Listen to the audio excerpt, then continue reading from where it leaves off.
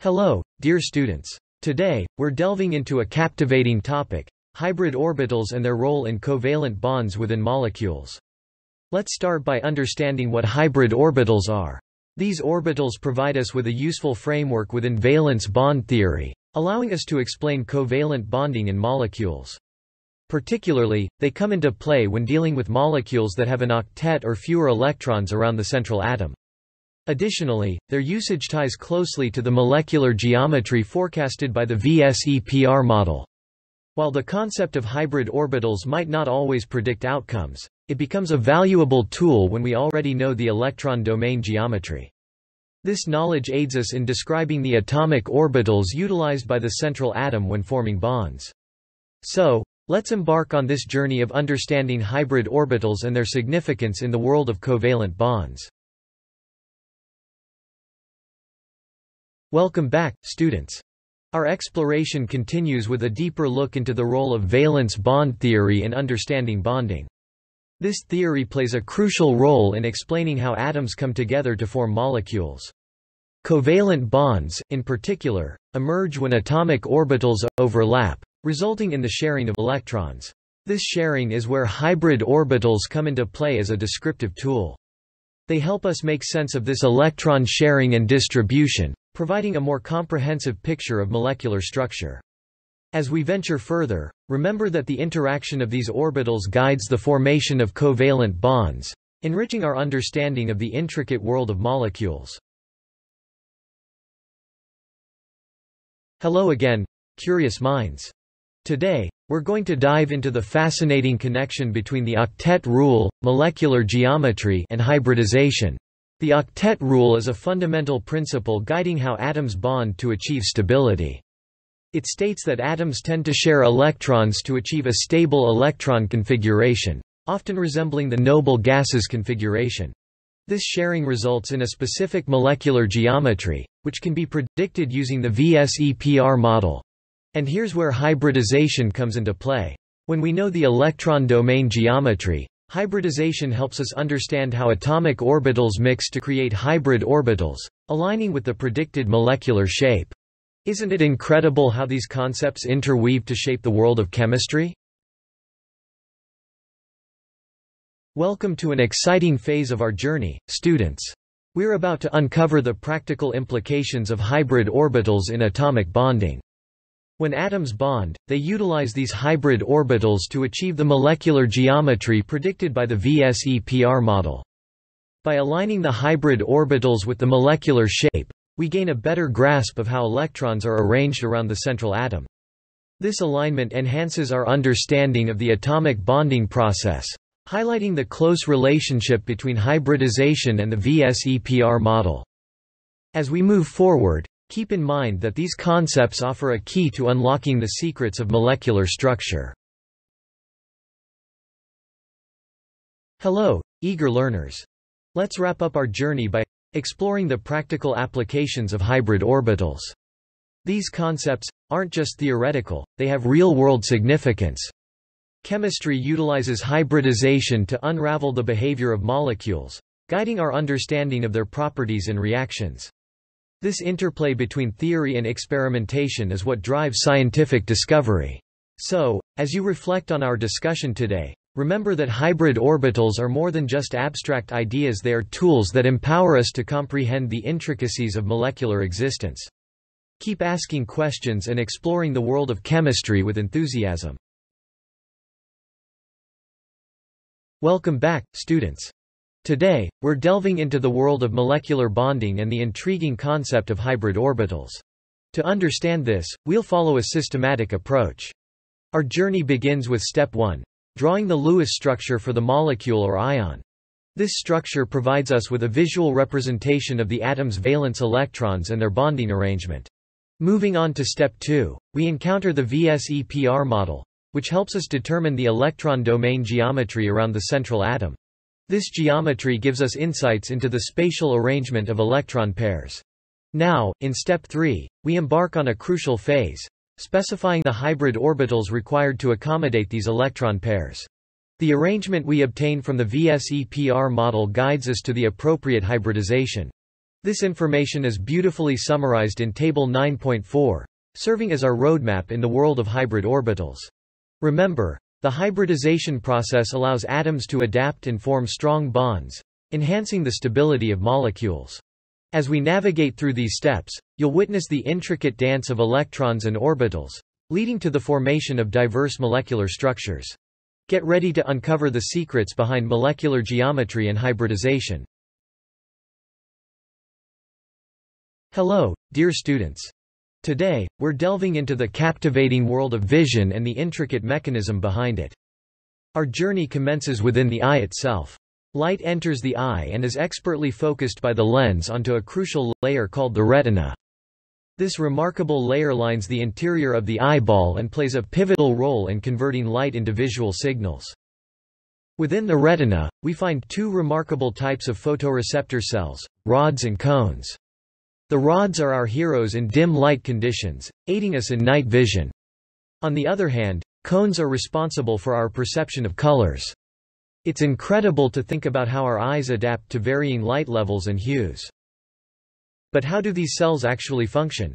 Let's journey deeper into the cellular realm to understand the molecules that make this magic possible.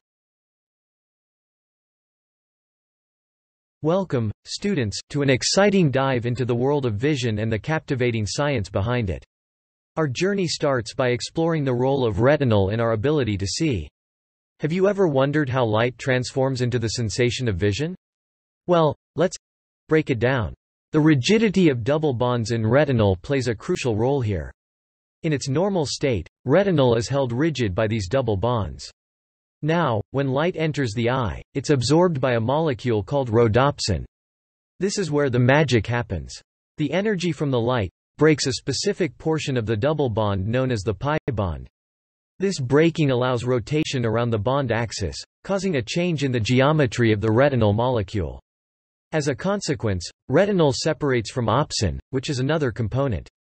This separation triggers a cascade of reactions that ultimately result in a nerve impulse being sent to the brain. And what does the brain interpret this impulse as? That's right, the sensation of vision. It's astounding that just five photons of light, that's five minuscule packets of light energy, can set off this intricate process and stimulate the eye to perceive the world around us.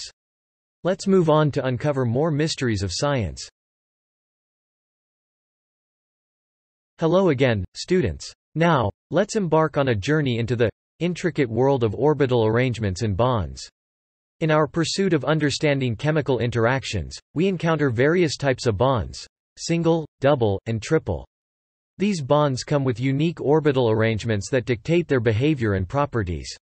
In a single bond, atoms share one pair of electrons, forming a sigma, sigma, bond. When it comes to double bonds, there's not only a sigma bond but also a pi, pi, bond, which involves the overlap of p orbitals. Triple bonds are even more fascinating, as they consist of a sigma bond and two pi bonds. The arrangement of these orbitals plays a crucial role in how these bonds influence molecules' structures and reactivity. Now, let's delve deeper and explore instances where pi electrons exhibit delocalization. Greetings, curious minds. Our exploration takes us to the concept of delocalization of pi electrons. Imagine pi electrons as a cloud of electrons that isn't bound to a single bond but rather stretches across multiple adjacent atoms. This phenomenon is known as delocalization, and it brings about some intriguing effects. Delocalization can occur in molecules with multiple bonds, especially in cases where there's resonance. This phenomenon enhances the stability of molecules, making them less prone to reactive behavior. One classic example is the benzene ring, where delocalization of pi electrons creates a ring of enhanced stability. This is why benzene and other aromatic compounds exhibit distinct properties. So, remember, the world of pi electrons is much more dynamic than it might seem at first glance. With these insights, we're building a strong foundation for understanding complex molecular behaviors. Welcome back, dear students. Today, our journey delves deeper into the world of chemical bonding, particularly focusing on covalent bonds and their fascinating characteristics. So, imagine you have a covalent bond. and what's truly intriguing is where the electron density is located within it. In the covalent bonds we've explored so far, the electron density is uniquely concentrated along a specific path, the line that connects the nuclei of the bonded atoms. This line is known as the internuclear axis. Now, let's talk about a specific type of covalent bond, the p-bond. In a p-bond, there are these captivating regions of overlap located both above and below the internuclear axis. And guess what? These overlapping regions collectively constitute a single p-bond. Isn't that something? Let's visualize this concept further. Welcome back, students. Today, we're delving into the world of covalent bonding and exploring a specific type called sigma, sigma, bonds. Covalent bonding occurs when atoms share electrons, creating a strong bond between them. Now, what's fascinating about sigma bonds is the way they form. Imagine two nuclei approaching each other and passing through the middle of the overlap region. This head-on overlap of atomic orbitals results in the formation of a sigma bond. This specific bond type is labeled as a sigma 1s 2 bond. Let's take a moment to visualize this process in our minds. Atoms coming together, their electron clouds overlapping directly, and a new bond being born. So, remember, sigma bonds are all about that head-on interaction. Moving forward, we'll explore some exciting examples of sigma bond formation. Welcome back, dear students.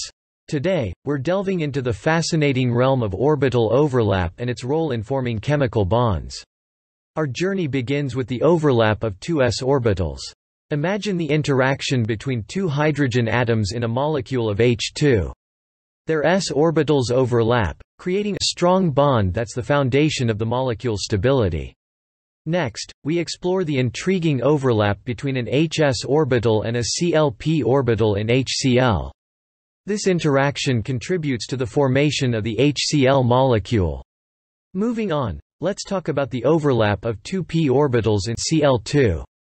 The coalescence of these orbitals is the driving force behind the formation of the chlorine molecule. But our exploration doesn't stop there.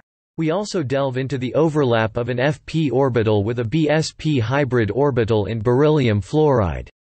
This interaction is essential for constructing the beryllium fluoride molecule. Remember, the concept of orbital overlap is central to our understanding of chemical bonding. It's the interplay of these atomic orbitals that leads to the formation of stable molecules. Now, let's journey deeper into the intricacies of these overlaps and how they shape the molecular world around us. Good day, students. In today's lesson, we're delving into the fascinating realm of multiple bonding and exploring a different type of bond known as the pi bond. So far, we've learned about single bonds, but now we'll see how atoms can form even stronger connections. To understand multiple bonding, we need to introduce a new concept, the overlap of p orbitals. Imagine these orbitals as pathways around the nuclei of atoms. When two p orbitals orient perpendicularly to the internuclear axis and overlap sideways, they create what we call a pi1p2 bond. Unlike the electron density concentrated along the internuclear axis in a s bond, in a pi bond, the overlap regions lie both above and below the internuclear axis. This creates a unique bond with distinct properties. It's important to note that due to the sideways orientation of p orbitals, the overlap in a pi bond is weaker compared to that in a s bond. Consequently, pi bonds are generally not as strong as s bonds. Now, let's take a closer look at the mechanisms of pi bonds and their significance in chemical bonding. Hello again, students. Today, we're delving deeper into the fascinating realm of chemical bonds. These bonds are like the glue that holds atoms together to form molecules. Let's start by discussing single bonds. In nearly all cases, single bonds are what we call S-bonds. They involve the sharing of electrons between atoms. Moving on to double bonds, these are a bit more complex. A double bond consists of one S bond and one P bond. Remember, electrons come in different shapes called orbitals, and these bonds involve specific orbitals. Lastly, we have triple bonds. A triple bond is composed of one, s bond, and two p bonds. These bonds are strong and play a significant role in creating various molecular structures. To put it simply, single bonds are like handshakes, double bonds are like handshakes with a twist, and triple bonds are like intricate secret handshakes between atoms. As we continue, you'll see how these bonds shape the properties of different molecules. Welcome, dear students. Today, we're delving into the fascinating world of molecular structure, focusing on the intriguing compound ethene, with the molecular formula C2H4. Ethene's structure is truly captivating, as it contains a carbon-carbon double bond, symbolized as CAC. What's even more remarkable are the bond angles around each carbon atom, which are all approximately 120 degrees. This suggests a specific type of hybridization called sp2 hybridization, which allows carbon atoms to form sigma sigma bonds with other carbon atoms and hydrogen atoms. Now, let's explore this concept in more detail. Hello again, students. Today's journey takes us into the realm of sp2 hybridization and molecular geometry. Carbon, with its four valence electrons, undergoes a fascinating transformation during sp2 hybridization. Three of its valence electrons participate in forming sp2 hybrid orbitals, while one electron remains in an unhybridized 2p orbital. The arrangement of these hybrid orbitals results in a trigonal planar geometry around each carbon atom. This geometry facilitates the formation of strong sigma sigma bonds between the carbon atoms and hydrogen atoms. This is your teacher speaking. Let's continue, students. One particularly intriguing aspect of ethene structure is the unhybridized 2p orbital. This orbital remains perpendicular to the plane that contains the three sp hybrid orbitals. This orientation contributes to the unique properties and reactivity of ethene molecules. The unhybridized 2p orbital plays a crucial role in shaping the overall geometry and properties of the molecule. Now, let's move forward to gain a deeper understanding of the implications of these molecular arrangements. Thank you for your attention, and remember, learning is a journey. Welcome to our next chapter, students. Ethene's unique molecular structure has profound implications for its properties and reactivity. The arrangement of sigma, sigma, and pi, pi bonds within the carbon-carbon double bond is of utmost importance.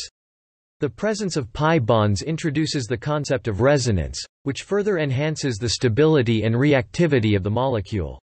These structural features directly influence how ethene participates in various chemical reactions and interacts with other substances. Let's delve into these concepts further as we uncover the intricate world of molecular properties. As our journey comes to an end, students, let's reflect on the captivating world of ethene's molecular structure. We explored the significance of sp2 hybridization, the intriguing bond angles, and the role of the unhybridized 2p orbital. These factors collectively influence the molecule's reactivity, stability, and properties. Remember, the concepts we've uncovered today are just a glimpse into the vast realm of chemistry. They provide a foundation for understanding more complex molecules and their interactions. I encourage you to continue your exploration, as chemistry holds the keys to unraveling the mysteries of the natural world. Thank you for joining me on this journey. Hello, students. Today, we're delving into the intriguing world of bond formation in molecules. Our focus is on the ethene molecule, where we'll walk through the steps of constructing its bonds.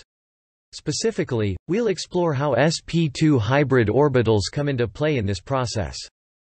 But first, let's understand the concept of sp2 hybridization.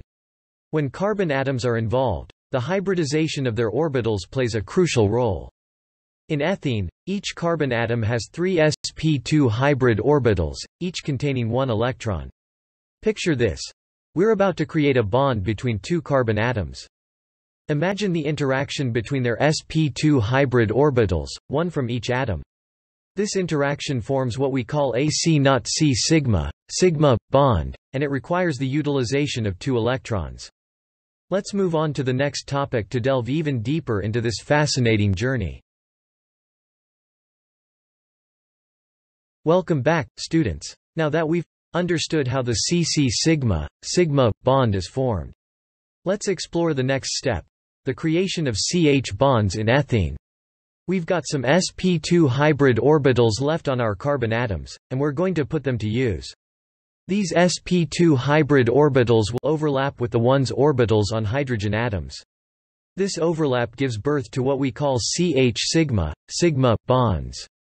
What's truly fascinating is that we employ a total of 8 more electrons to establish these four CH bonds. If we sum it up, out of the 12 valence electrons in the C2H4 molecule, a whopping 10 electrons are engaged in crafting these S bonds. But our journey doesn't end here. Stay curious as we dive into even more intricate aspects of molecular bonding in the upcoming topics. Hello again, students. Now, let's dive into the world of molecular orbital formation in a molecule called ethene. As we know, each carbon atom in ethene has two remaining valence electrons residing in unhybridized 2p orbitals. These two orbitals can interact in a unique way, they can overlap sideways with each other. Visualize this overlap as shown in figure 9.22. As a result of this overlapping, something fascinating occurs. Electron density becomes concentrated both above and below the axis of the CC bond. This concentrated electron density forms what we call a p-bond, which is depicted in figure 9.20. In the ethene molecule, the CC double bond is not just one type of bond but actually consists of two types of bonds an S bond and a P bond. Isn't it amazing how these interactions at the atomic level create the complex bonds that make up the molecules we encounter every day? Let's move forward and explore more intriguing concepts. Hello, dear students. Today, we're delving into an intriguing topic pi bonds and the structure of ethene. Pi bonds might not be directly observable, but we have solid evidence for their existence. Let's explore the remarkable characteristics of ethene that lend strong support to the presence of these bonds. First off, we have the CC bond length in ethene, which is significantly shorter than in compounds with single CC bonds.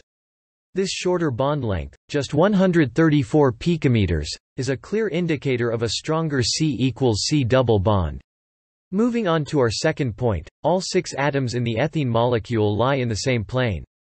This arrangement is crucial because the p orbitals on each carbon atom, responsible for forming the pi bond, can only achieve optimal overlap when the two CH2 fragments lie in the same plane. It's fascinating how pi bonds introduce rigidity into molecules due to their requirement for planar portions. Ethene's structure provides a vivid illustration of this phenomenon. So, let's proceed to unravel more about pi bonds and their impact on molecular structure. Welcome back, students. We're on our journey to understand pi bonds better. Now, you might wonder, if we can't directly observe pi bonds, how do we know they're there? Well, it's all about inference. We rely on the positions of atoms in a molecule to draw conclusions about the presence of pi bonds. Take ethene, for example, its unique characteristics provide compelling evidence for pi bonds. The CC bond in ethene is shorter than single bonds, indicating a stronger bond due to the presence of a pi bond. But that's not all. Our next point takes us into the world of molecular arrangement. For those p orbitals to efficiently overlap and form a pi bond, the atoms they belong to need to lie in the same plane. This planar alignment is a key factor in pi bond formation. So, remember, even though pi bonds might remain unseen, their effects are profound and visible in the structure and behavior of molecules. Great to have you all here, students. Let's dive deeper into the elegance of ethene's structure and its connection to pi bonds. As we've discussed, all six atoms in ethene lie in a single plane. This arrangement is essential for the formation of pi bonds. The p orbitals on each carbon atom can effectively overlap and create a pi bond only when these atoms are in the same plane. This requirement for planar alignment introduces rigidity into molecules. Ethene's structure beautifully demonstrates how pi bonds influence molecular geometry. The presence of pi bonds doesn't just impact structure, It also plays a vital role in molecular stability. This stability arises from the energy associated with the pi bond and its ability to keep the atoms bonded together. Let's continue our exploration of pi bonds and the captivating world of molecular interactions. Hello again, students. We're about to uncover more about the intriguing effects of pi bonds. We've talked about how pi bonds introduce rigidity into molecules due to their requirement for planar alignment. This rigidity, however, comes with a trade-off. While it limits flexibility, it also enhances stability. This balance between flexibility and stability is crucial in functional molecules. Take ethene, for instance. Its structure showcases the rigidity introduced by pi bonds. Now, why is this important in real-world applications? Well, Think about the structural components of materials, the specificity of biological molecules, and the behavior of compounds in chemical reactions. All of these are influenced by the balance between rigidity and flexibility introduced by pi bonds. So, as we proceed, keep in mind the fascinating interplay between molecular rigidity and the dynamic world of chemical reactions. Hello, students. Today, we're delving into the realm of molecular structures and the intriguing concept of hybrid orbitals. We'll be focusing on a specific example, ethyne, C2H2, which contains a remarkable triple bond. Picture this. A linear molecule with the arrangement HC is defined as CH. This linear geometry hints at the utilization of hybrid orbitals. In ethyne, each carbon atom employs sp hybrid orbitals to form sigma, sigma, bonds with the other carbon atom and one hydrogen atom. The result is a linear arrangement that showcases the power of hybridization. But what happens to the other orbitals? Well, each carbon atom has two unhybridized 2p orbitals perpendicular to each other and the axis of the sp hybrid set. These unhybridized orbitals hold the key to the formation of pi, pi, bonds. When these p orbitals overlap, they create a pair of pi, pi, bonds working in harmony with the sigma bond to form the iconic triple bond in ethyne. So, to summarize, the ethyne triple bond is composed of one sigma bond and two pi, pi, bonds. Isn't chemistry fascinating? Let's move on to more captivating insights. Hello there, students. Today, we're delving into a fascinating topic, the formation of p bonds and the role of hybridization in this process. As we explore, keep in mind that p bonds are formed through the overlap of p orbitals. However, there's a catch. These p bonds can only form if the bonded atoms have unhybridized p orbitals. This means that atoms with sp or sp2 hybridization are the ones that can engage in the creation of p bonds. Now, let's talk about the prevalence of double and triple bonds, which are associated with p bonds. In molecules composed of period 2 atoms, particularly carbon, C, nitrogen, N, and oxygen, oxygen, these types of bonds are quite common. These smaller atoms have a greater tendency to form double and triple bonds, showcasing the significance of p bonds in their chemistry. On the other hand, when we move to larger atoms such as sulfur, S, phosphorus, P, and silicon, silicon the formation of p bonds becomes less frequent. So, remember that the nature of the atoms and their hybridization play a crucial role in determining the likelihood of p-bond formation. Now, let's dive even deeper into the intricacies of chemical bonding and hybridization. Hello, dear students. Today, we're delving into the intriguing world of benzene's bonding structure and its hybridization. As we know, benzene has a total of 30 valence electrons. Now, to understand how these electrons participate in bonding, we first need to consider the molecular geometry. In benzene, each carbon atom is surrounded by three atoms at 120 degrees angles. This unique arrangement leads us to the choice of a specific hybridization scheme. And that scheme is sp2 hybridization.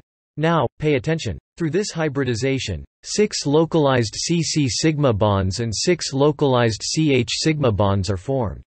These bonds are derived from the sp2 hybrid orbitals, as you can see in figure 9.25, a. Uh.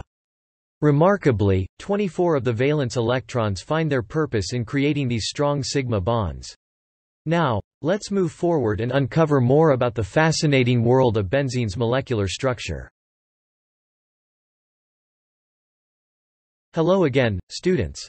Today, we're delving into the captivating world of molecular structures, specifically focusing on benzene, which is represented by the chemical formula CbHb. As you can see in figure 9.25, benzene's molecular arrangement is truly intriguing. In panel A, we have the S-bond framework. This represents the sigma bonds that are formed between the carbon atoms in benzene. Now, in panel B, we move on to an equally fascinating aspect, the formation of p-bonds. These p-bonds originate from the unhybridized two p orbitals on the six carbon atoms. When these orbitals overlap, they give rise to the double bonds we observe between the carbon atoms. These interactions contribute to the unique stability and structure of benzene. Remember, understanding molecular structures is crucial as they underpin the properties and behaviors of substances. Let's move forward to explore more. Welcome back, dear students. Today, we're delving into the intriguing world of molecular structure, particularly in aromatic compounds. Our journey starts with the concept of hybridization. In aromatic compounds like benzene, each carbon atom undergoes sp2 hybridization, resulting in a unique molecular arrangement. Just like ethene, there's one p orbital on each carbon atom, oriented perpendicularly to the molecule's plane. However, the fascinating twist here is that we have not just one, but six p orbitals forming a ring-like arrangement, as depicted in Figure 9.25, b. This leads us to the captivating structure of benzene. Now, pay close attention as we explore how the six valence electrons find their place within these p orbitals. Hello, dear students. Today, we're delving into the fascinating realm of chemical bonding and resonance. Our focus is on the utilization of p orbitals in the formation of three localized p bonds. As we explore this topic, you'll find that there are intriguing aspects to consider. Let's proceed to understand the details. Welcome back, students. In our quest to understand chemical bonding further, let's dive right into the formation of localized p bonds using p orbitals. As you can see from the visual representation, p orbitals play a crucial role in the bonding process. Three localized p bonds can be established through the interaction of these orbitals. Now, let's unravel the concept of resonance, which is pivotal in our understanding of this topic. Hello again, dear students. Our journey into the world of resonance continues. When it comes to creating localized pi bonds, there are two equivalent ways, each corresponding to a resonance structure. These structures highlight the varying possibilities of bond formation. And here's the exciting part. When we want to represent both resonance structures accurately, we find that the 6 pi electrons get smeared out among all 6 carbon atoms. This concept might seem complex, but as we delve deeper, it will become clearer. Welcome to the next stage of our exploration, students. Now, we're going to visually explore how both resonance structures come together to provide us with a comprehensive view. In the representation where both structures are considered, the 6p electrons are distributed across all six carbon atoms. This intriguing concept enhances our understanding of how electrons are involved in bonding scenarios. Remember, resonance serves as an essential tool for grasping the complexities of bonding. Hello once more, students. As we approach the culmination of our lesson, let's truly embrace the complexity of resonance. The idea of electron delocalization might be new to you, but it's a crucial concept in understanding bonding. With multiple resonance structures, we gain a more complete perspective on how electrons are distributed among atoms. This intricate dance of electrons across molecules adds depth to our comprehension of chemical interactions. So, remember, complexity is an opportunity for growth in our knowledge. Hello, dear students. Today, we're delving into the fascinating realm of chemical bonds and molecular structures. Our journey takes us to the intriguing prediction about carbon-carbon bond lengths. Imagine a world where all carbon-carbon bonds exhibit the same length, This prediction is based on a model that suggests these bond lengths will fall between that of a single carbon-carbon bond, measuring around 154 picometers, and a double carbon-carbon bond, measuring approximately 134 picometers. Now, here's the captivating part. This prediction beautifully aligns with the observed carbon-carbon bond length in a well-known molecule, benzene. In benzene, each carbon-carbon bond stretches about 140 picometers, showcasing the harmony between theory and reality. So, let's dive deeper into the intricacies of molecular bonds and unveil the magic behind these predictions. Welcome back, students. Let's unravel the wonders of benzene. Benzene is a remarkable molecule with a hexagonal structure, often symbolizing the aromatic compounds we encounter. What's truly fascinating is that each carbon atom in the benzene ring is bonded to two other carbon atoms, alternating between single and double bonds. This arrangement gives rise to its unique properties. Now, pay close attention. The carbon-carbon bond length in benzene measures around 140 picometers. And guess what? The model's prediction of carbon-carbon bond lengths, lying between those of single and double bonds, perfectly matches the observed bond length in benzene. This alignment between prediction and reality showcases the power of scientific models in understanding the molecular world. Greetings, students. Let's venture further into the realm of molecular mysteries. Our model's prediction about carbon-carbon bond lengths has broader implications. Imagine exploring different molecules and finding that the carbon-carbon bonds, regardless of the molecule's complexity, exhibit a uniformity that aligns with the predicted range between single and double bond lengths. This isn't just a coincidence. We've already seen how this prediction holds true for benzene's carbon-carbon bond length of 140 picometers. This consistency is more than just a scientific curiosity. It deepens our understanding of molecular structures and the forces that shape them. As we journey on, keep in mind that these predictions help us peek into the hidden world of atoms and bonds. Hello again, bright minds! Our exploration of carbon-carbon bond lengths is unlocking captivating mysteries in the world of molecular bonding. Imagine looking at various molecules and realizing that the carbon-carbon bonds within them maintain a uniformity, just as our model predicted. How does this happen? The model points to the delicate balance between single and double bond characteristics, resulting in an average bond length that's consistent across molecules. Visualizing these molecular structures helps us appreciate the intricate dance of atoms as they come together to form bonds. Understanding bond lengths isn't just an exercise in numbers, it's a key that unlocks the secrets of chemical reactions, materials, and more. Stay curious as we journey onward into the heart of molecular bonding. Welcome to our final topic, Inquisitive Minds. We've embarked on an awe-inspiring journey through the world of carbon-carbon bond lengths and their predictions. What's the big takeaway from this adventure? It's about the power of predictive models in shaping our understanding of the natural world. These models bridge the gap between theoretical predictions and real-world observations. Think of them as guiding stars that help us navigate the complex seas of chemistry. As we apply these predictions to diverse chemical scenarios, we must also recognize the importance of refining our models over time. Science thrives on curiosity, collaboration, and the courage to embrace uncertainties. So, keep your scientific spirits high, for every discovery, like our journey today, adds a new layer to the tapestry of human knowledge. Thank you for joining me on this exploration. Welcome back, students. Next topic, we're diving into the fascinating world of electron delocalization in pi bonds.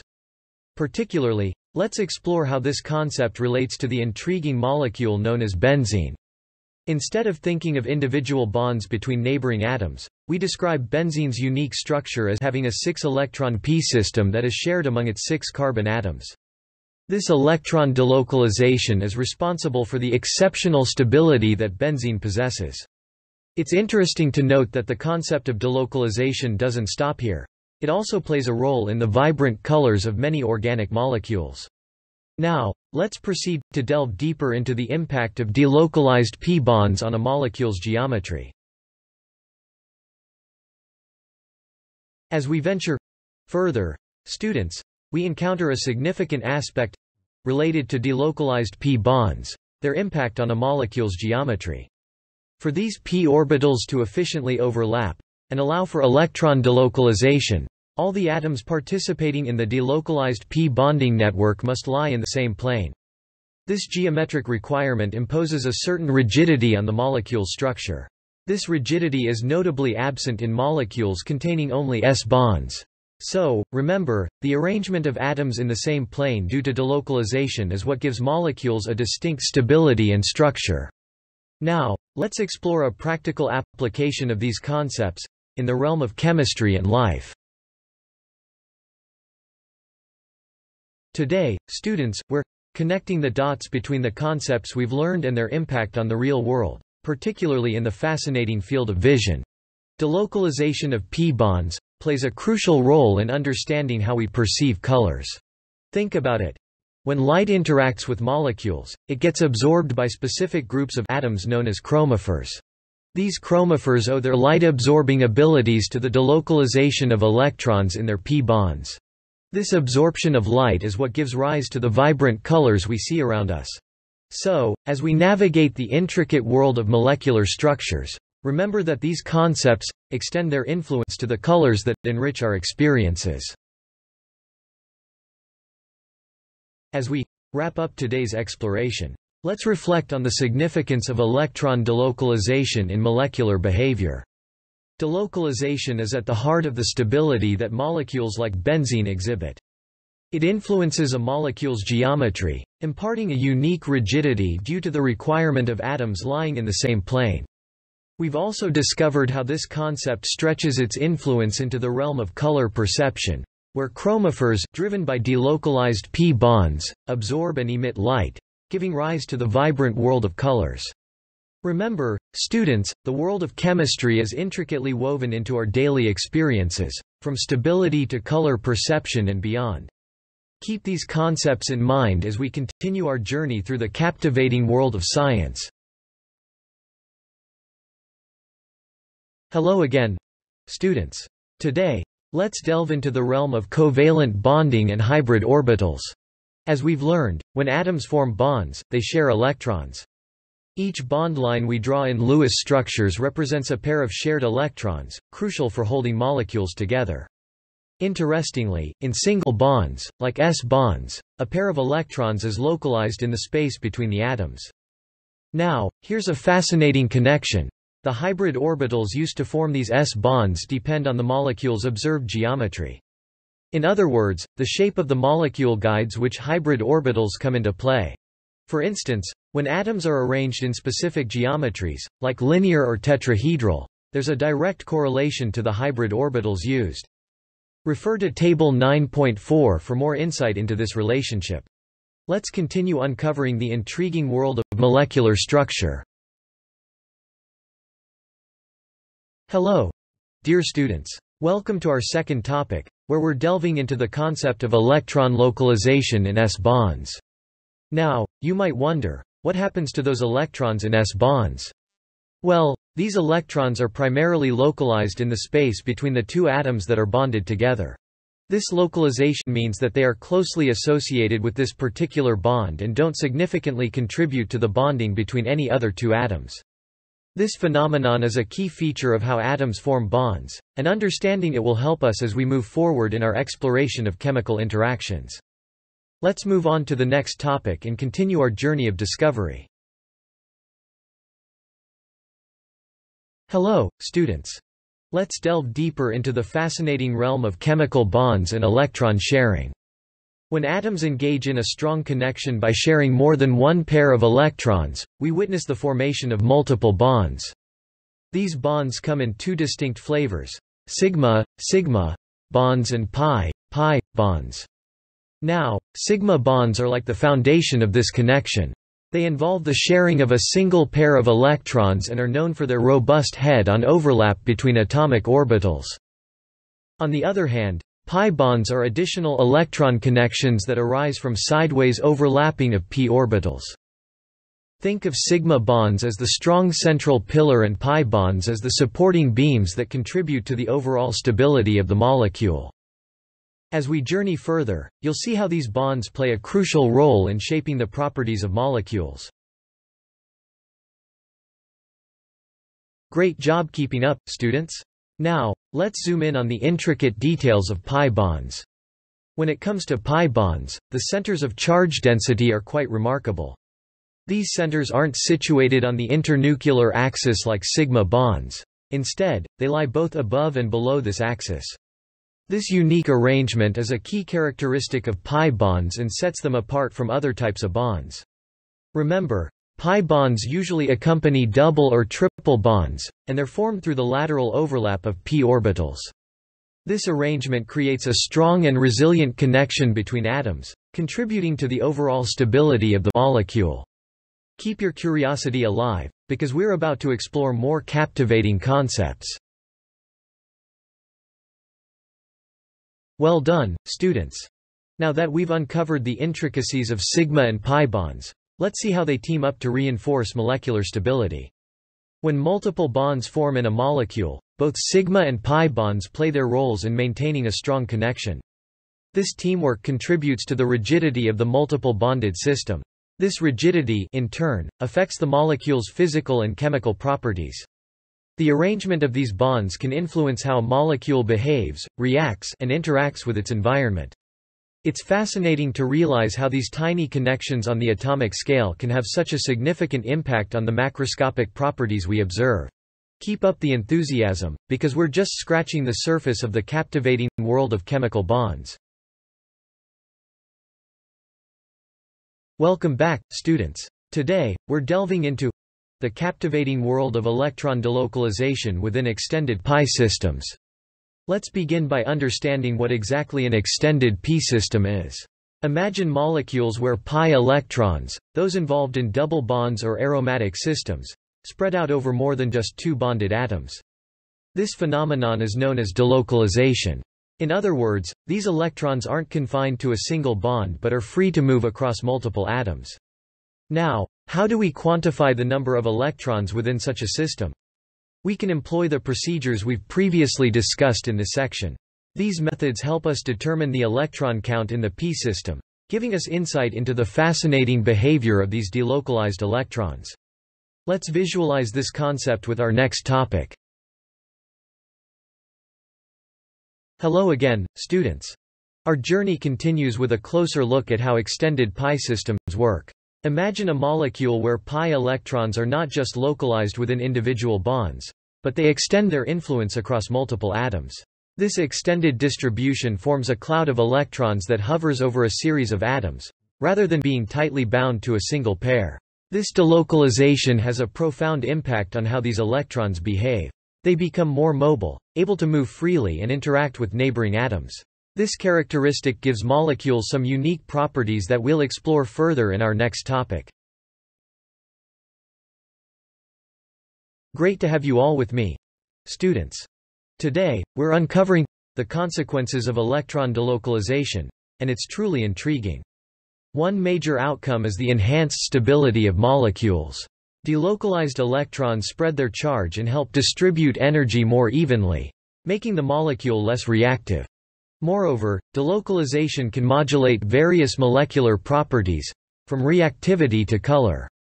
Now, here's an exciting connection. Aromatic compounds, like benzene, owe their stability and unique properties to delocalization. The resonance within the ring creates a system where pi electrons are free to roam adding a layer of stability and distinct behavior. Let's explore this connection and more, as we journey ahead. Hello once again, students. Today's lesson wouldn't be complete without diving into the quantitative aspects of delocalization. How do we count those pi electrons in a molecule's extended pi system? We turn to Huckel's rule, a valuable tool for determining aromaticity.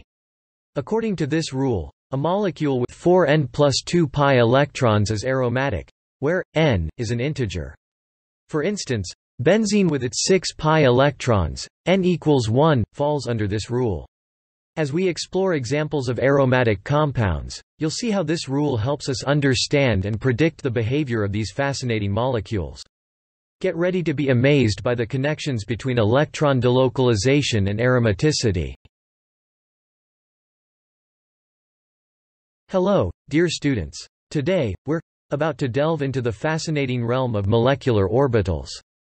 But before we dive in, let's take a moment to draw a parallel with something you might find surprising the captivating meeting of two seas at Grenen Beach in Denmark. Just as the waves from different seas collide and interact, Electrons and molecules also behave like waves that can interact with one another. Imagine these electrons as waves of the sea, at times reinforcing each other's behavior, and at other times, cancelling each other out. This interaction between electron waves forms the basis of our model for understanding bonding. So, get ready to ride the waves of knowledge as we explore the intriguing concept of molecular orbitals. Greetings, students. Now, let's take a closer look at the wave-like nature of electrons. Just like light and sound waves, electrons too display wave-like behaviors. This means they have properties such as wavelength and frequency. When electrons interact, their wave patterns can overlap, creating fascinating interference patterns much like the waves at Grenen Beach. This overlap is crucial in shaping the energy levels and behaviors of electrons and molecules. Isn't it intriguing how the world of waves extends even to the microscopic realm of electrons? Welcome back, everyone. Now, let's dive into the heart of our topic the molecular orbital model. This theory introduces us to the idea that electrons don't just exist around individual atoms. They also form shared regions known as molecular orbitals when atoms come together to create molecules. These molecular orbitals emerge from the interaction of electron waves, much like the waves meeting at the boundary of two seas. We have two types of molecular orbitals, sigma, sigma, and pi, pi, each with distinct shapes and energy characteristics. Let's move on to uncover the specific qualities of these molecular orbitals. Great job keeping up, students! Now, Let's dive deeper into the different types of molecular orbitals. First up, we have sigma, sigma, molecular orbitals. These are formed when atomic orbitals, directly overlap in a head-on fashion. This kind of overlap leads to strong bonding interactions between atoms. On the other hand, we have pi, pi, molecular orbitals, which result from side-to-side -side overlap of atomic orbitals. Pi orbitals are particularly interesting because they are often found in double and triple bonds, as well as in conjugated systems. Just like the meeting of two seas can create intricate patterns. The interaction of atomic orbitals gives rise to these distinct molecular orbital shapes. Welcome back, students. Today, we're delving deeper into the realm of molecular bonding with a focus on the valence bond theory. As we've learned, this theory helps us grasp the connections between Lewis structures, atomic orbitals, and molecular geometries. It's a powerful tool, but like any theory, it has its limitations. Valence bond theory falls short when it comes to explaining excited states of molecules, those high-energy configurations that play a crucial role in phenomena like light absorption and the vibrant colors we observe. To truly understand why molecules absorb light and exhibit color, we need to explore beyond the confines of valence bond theory. Let's move forward and uncover the exciting world of molecular excited states. Hello again, young minds. Our journey into the mysteries of molecular bonding takes a fascinating turn as we shift our focus to excited states and their link to light absorption. Imagine molecules as tiny energy absorbers. When they encounter energy, they can leap to higher energy levels, also known as excited states. Now, let's zoom in on electrons, those tiny, energetic particles within atoms. These electrons are responsible for absorbing light in the form of photons, which prompts them to jump from one energy level to another. The frequency of the absorbed light determines the energy leap, and as we know, different energy levels translate to different colors. So, when molecules absorb light, they're not just changing energy states. They're painting the world with vibrant colors. Let's keep digging into this captivating realm. Good day, dear students. Today, we're unveiling an advanced concept that pushes the boundaries of our understanding, molecular orbital theory. This theory goes beyond valence bond theory and dives headfirst into the world of molecular orbitals. Picture this. When atomic orbitals from different atoms overlap, they form molecular orbitals. These newly created orbitals can be either bonding, where electrons are shared constructively, or anti-bonding, where electrons are less likely to be found. Molecular orbital theory provides a comprehensive explanation for bonding, excited states, and light absorption, allowing us to explore even the most complex molecular interactions. As we continue our exploration, remember that the journey to understanding the intricacies of molecular bonding is as rewarding as it is enlightening. Welcome, curious minds, to a realm where complexity intertwines with beauty, the world of light absorption and molecular interactions. As we venture deeper, we encounter the intricate dance between molecular structure and energy transitions. The arrangement of atoms within a molecule directly affects how it absorbs and emits light. It's like a choreographed ballet of electrons moving between energy levels. This choreography gives rise to unique absorption spectra, like molecular fingerprints that reveal a substance's identity. And the applications? Endless. From understanding chemical reactions in biology, to designing new materials with specific properties, the insights we gather from light absorption phenomena fuel innovation across scientific disciplines. So, let's continue our intellectual journey, through this captivating landscape. Dear students, as we conclude today's exploration, let's take a moment to reflect on our voyage. We embarked on a journey from valence bond theory to the complex realm of molecular orbital theory, uncovering the secrets of light absorption, excited states, and the mesmerizing world of colors. We've witnessed the limitations of theories, and the thrill of advancing our understanding. Remember, the world of molecular bonding is a never-ending adventure, with countless mysteries awaiting your inquisitive minds. So, keep exploring, keep questioning, and keep pushing the boundaries of knowledge. Until next time, stay curious. Welcome back, dear students. Today, we're diving into the captivating world of molecular orbital theory. Just like we discussed atomic orbitals in Chapter 6, this sophisticated model takes us a step further into the understanding of bonding within molecules. So, let's draw a parallel here. Just as electrons within atoms have their unique wave functions, we call them atomic orbitals. In the realm of molecules, we have a similar concept. Molecular orbital theory describes how electrons within molecules can be visualized using specific wave functions and each of these wave functions is termed a molecular orbital, or MO for short. This theory provides us with a deeper insight into the nature of chemical bonds. Let's proceed to unravel the intricacies of molecular orbital theory and its significance. Hello again, attentive minds. Let's jog our memories a bit. In Chapter 6, we got to know atomic orbitals, which are wave functions describing electrons within atoms. Now, here's the fascinating part. Molecular orbital theory brings a similar concept to the table. It describes the distribution of electrons in molecules using these wave functions. Think of wave functions as mathematical tools that help us understand how electrons behave within molecules. By grasping the distribution of these electrons, we can gain valuable insights into the formation of chemical bonds. The electron distribution plays a crucial role in defining the characteristics of molecules and their properties.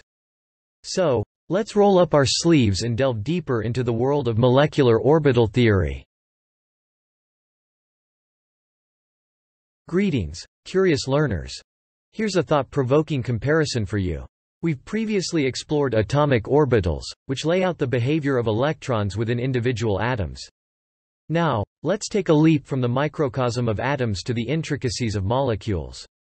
Molecular orbital theory steps in to describe how electrons within molecules behave using the concept of molecular orbitals. It's like we're extending our understanding from single atoms to groups of atoms forming molecules. This transition is both enlightening and empowering as it gives us a comprehensive view of how atoms come together to create the world of chemistry. So, buckle up as we journey through the world of molecular orbitals and their significance in explaining bonding. Ahoy, inquisitive minds! It's time to unravel the beauty of molecular orbitals. These are like specialized wave functions that give us a detailed understanding of how electrons interact within molecules.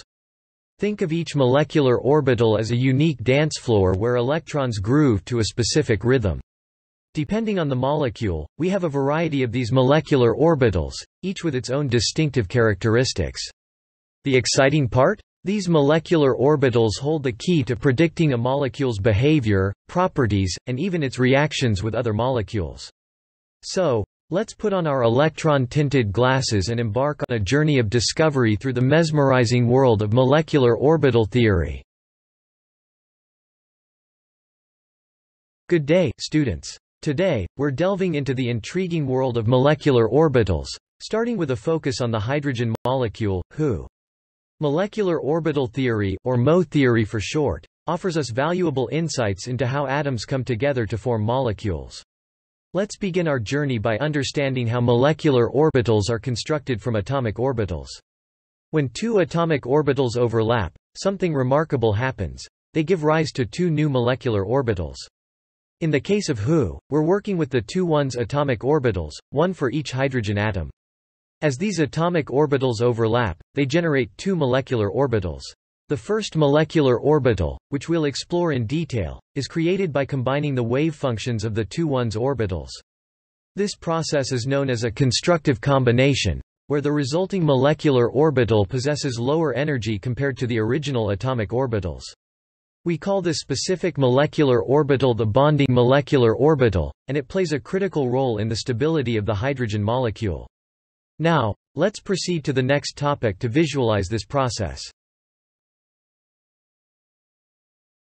Welcome back, students. On this topic, we're diving deeper into the concept of constructive combination and its role in forming the bonding molecular orbital. As mentioned earlier, when the two 1s atomic orbitals of hydrogen atoms overlap, they undergo a constructive combination.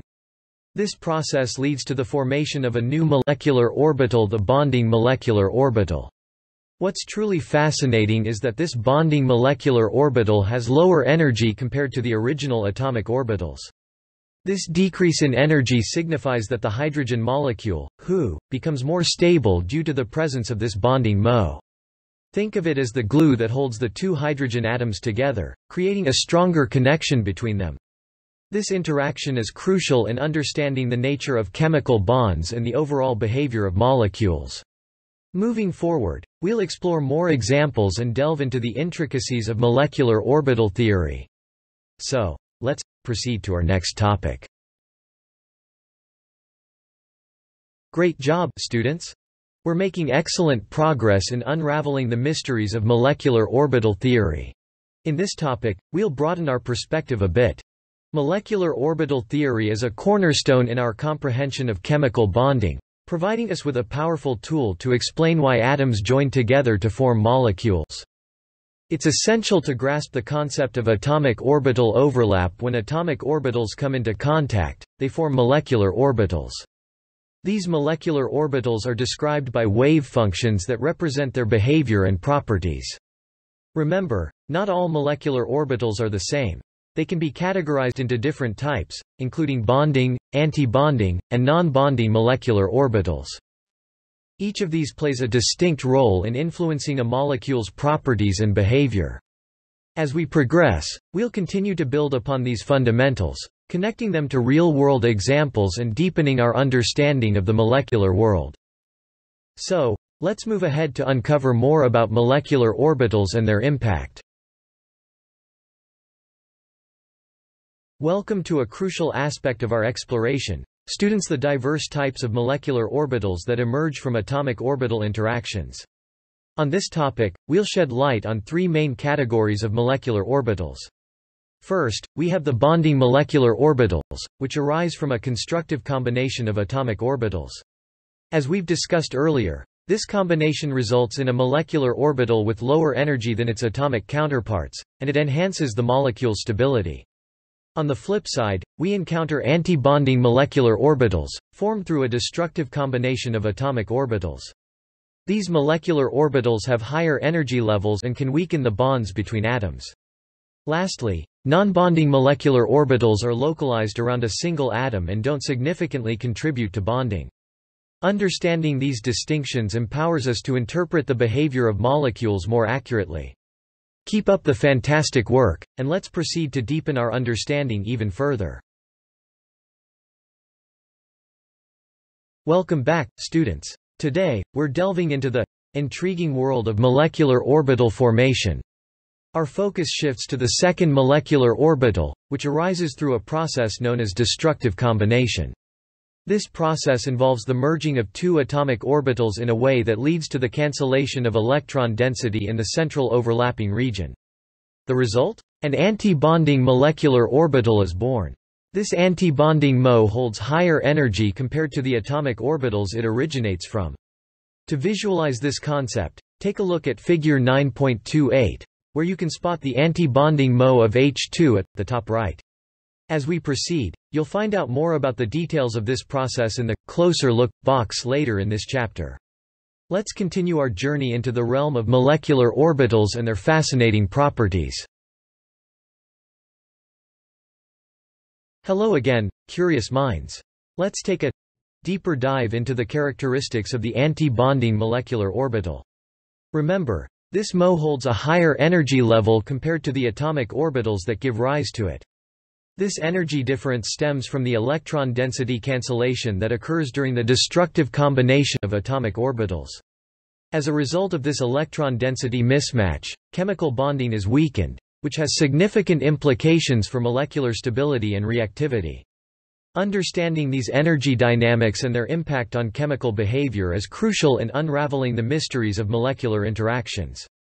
To get a clearer picture, take a look at our comparative energy diagram showcasing the relationships between atomic orbitals, bonding MO, and the higher energy antibonding MO. Our exploration continues with more insights into the intricacies of molecular orbitals.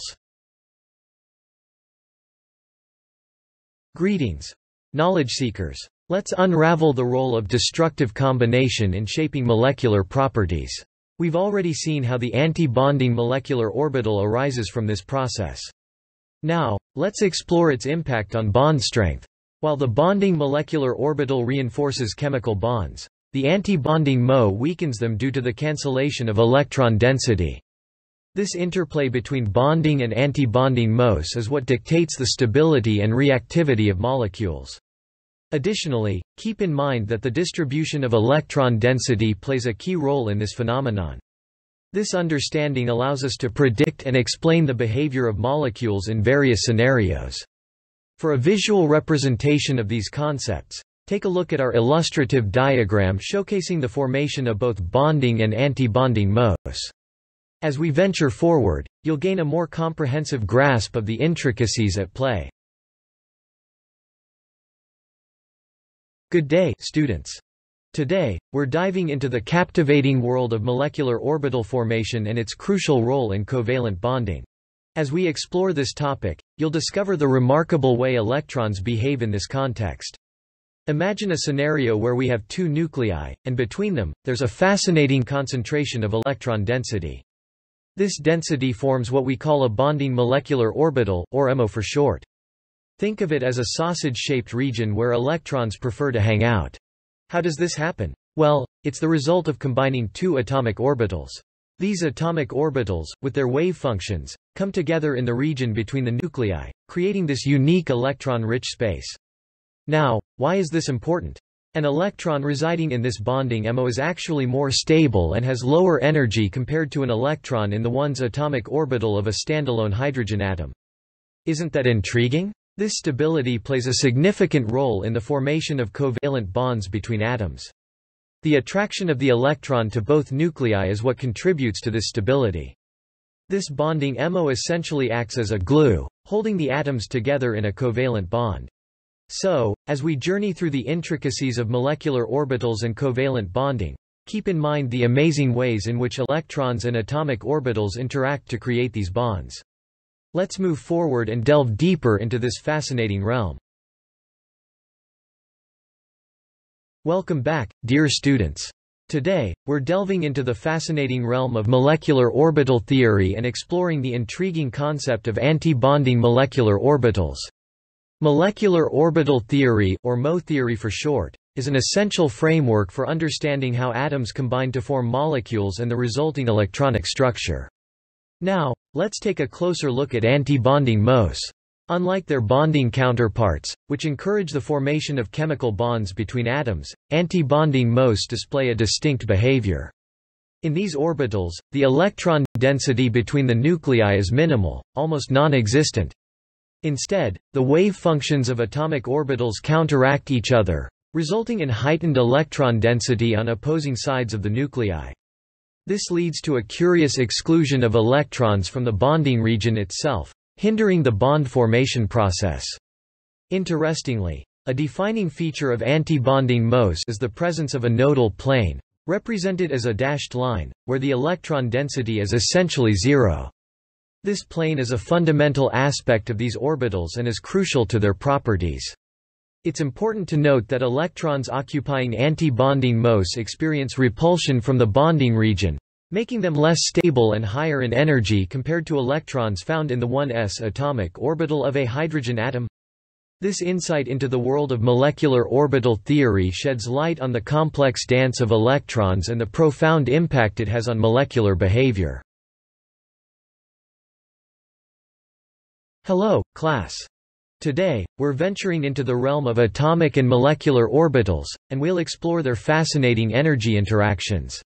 Let's start with energy level diagrams, which provide a visual representation of the relative energies of atomic and molecular orbitals.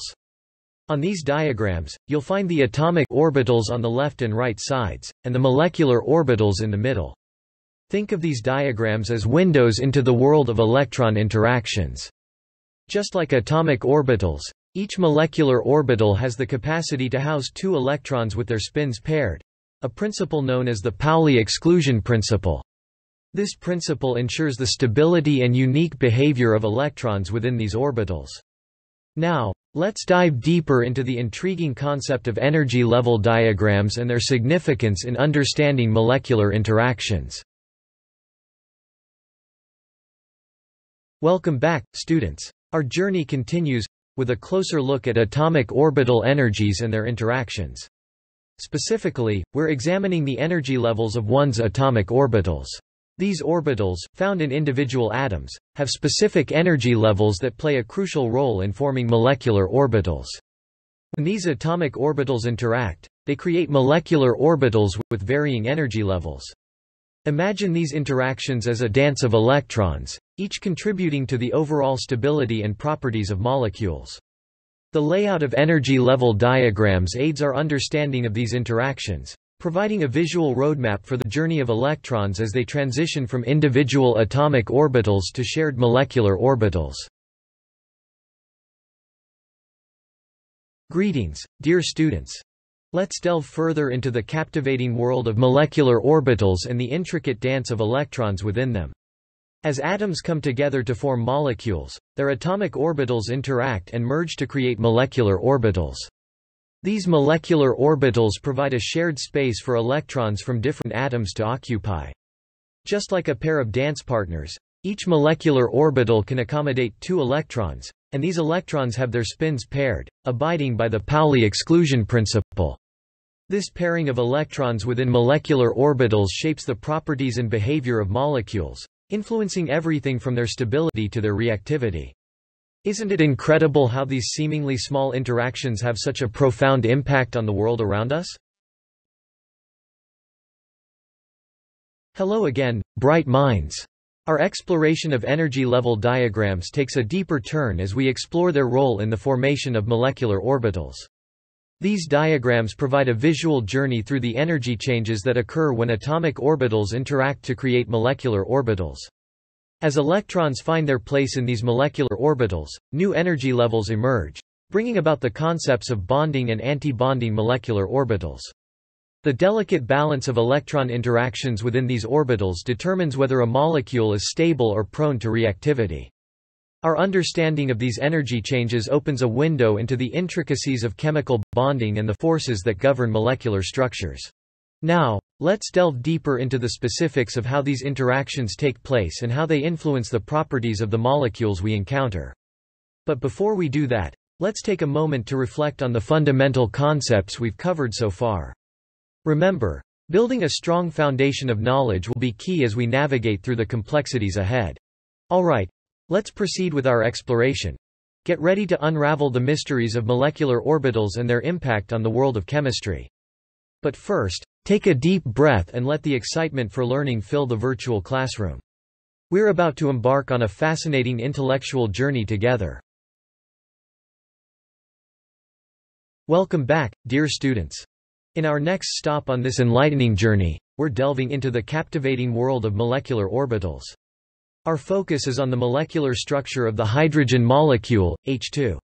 As figure 9.29 demonstrates, the molecular orbital diagram of H2 reveals intriguing insights.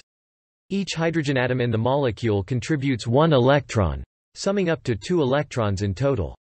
These electrons find their home in the lower energy bonding 1s1s2 molecular orbital, and importantly, their spins are paired. Electrons that reside in bonding molecular orbitals are aptly named bonding electrons. Now, here's the key. Due to the energy advantage of the S1's molecular orbital over the individual H1's atomic orbitals, the H2 molecule enjoys greater stability when compared to two separate hydrogen atoms. Remember, Understanding molecular orbitals is like peeking into the intimate dance of electrons, revealing the secrets of a molecule's structure and stability. Ready for more? Let's continue our exploration. Hello again, dear students. Now, let's delve into the intriguing concept of electron configurations for molecules. You see, just like how we describe the arrangement of electrons in atoms, we can apply a similar concept to molecules. This involves using superscripts to indicate the occupancy of electrons within molecular orbitals. As an example, let's consider the electron configuration of an H2 molecule. The notation here is S1s2, signifying that the first s orbital contains one electron, and the second s orbital contains two electrons. This depiction helps us understand how electrons are distributed within molecules, and it's a crucial aspect of understanding their properties. Keep in mind that electron configurations play a fundamental role in determining the chemical behavior of molecules. Let's continue our journey into the intricate world of molecular electron configurations and their significance. Welcome back, students. Today, we're delving into the captivating world of molecular orbital theory and its impact on bond stability. As we've learned, a covalent bond stability is closely tied to its bond order. So, what exactly is bond order? It's a fundamental concept that plays a significant role in understanding the strength of covalent bonds. Bond order is calculated by taking half the difference between the number of bonding electrons and the number of antibonding electrons. This gives us a numerical value that provides insights into the bond stability. Remember, a higher bond order generally indicates a stronger and more stable bond. Now, let's proceed to our next exciting topic. Hello, dear students. Today, we're diving into a captivating aspect of chemistry known as molecular orbital theory. Our focus is on the hypothetical He2 molecule. In this molecule, four electrons are needed to fill its molecular orbitals. However, due to certain limitations, only two electrons can occupy the s1's molecular orbital. As a result, the remaining two electrons find their place in the s1 s molecular orbital. This arrangement gives rise to the electron configuration of He2 as S1s2s1 s2. Now, what's fascinating here is the interplay of energy. As we transition from He atomic orbitals to the He bonding molecular orbital, we experience a decrease in energy. However, this energy decrease is counterbalanced by an increase in energy when transitioning from the atomic orbitals to the He anti-bonding molecular orbital. The presence of two bonding electrons and two anti-bonding electrons in He2 results in a bond order of zero. Remember, a bond order of zero indicates the absence of a bond. This intriguing observation aligns with molecular orbital theory's prediction that hydrogen forms diatomic molecules, while helium does not. Let's continue our exploration into the captivating world of molecular orbital theory. Greetings, young minds. Let's delve deeper into the intricate aspects of bonding in the He2 molecule. As we just discussed, the energy decrease experienced during bonding interactions is delicately balanced by the energy increase seen in anti-bonding interactions. This equilibrium leads us to a concept called bond order. Bond order is a numerical value that indicates the strength of the bond formed between atoms. In the case of He2, the presence of two bonding electrons and two anti-bonding electrons results in a bond order of zero. This is a key point to remember, a bond order of zero signifies the absence of a bond. Molecular orbital theory's prediction for hydrogen-forming diatomic molecules, while helium does not, aligns with this observation. So, as we journey through these intricate molecular interactions, keep in mind the delicate dance between energy levels and symmetry. Let's proceed to uncover more about the world of molecular bonds. Welcome back, curious minds. Our exploration takes us further into the heart of molecular orbital theory and its significance in understanding diatomic molecules. This theory plays a crucial role in explaining how atoms come together to form molecules.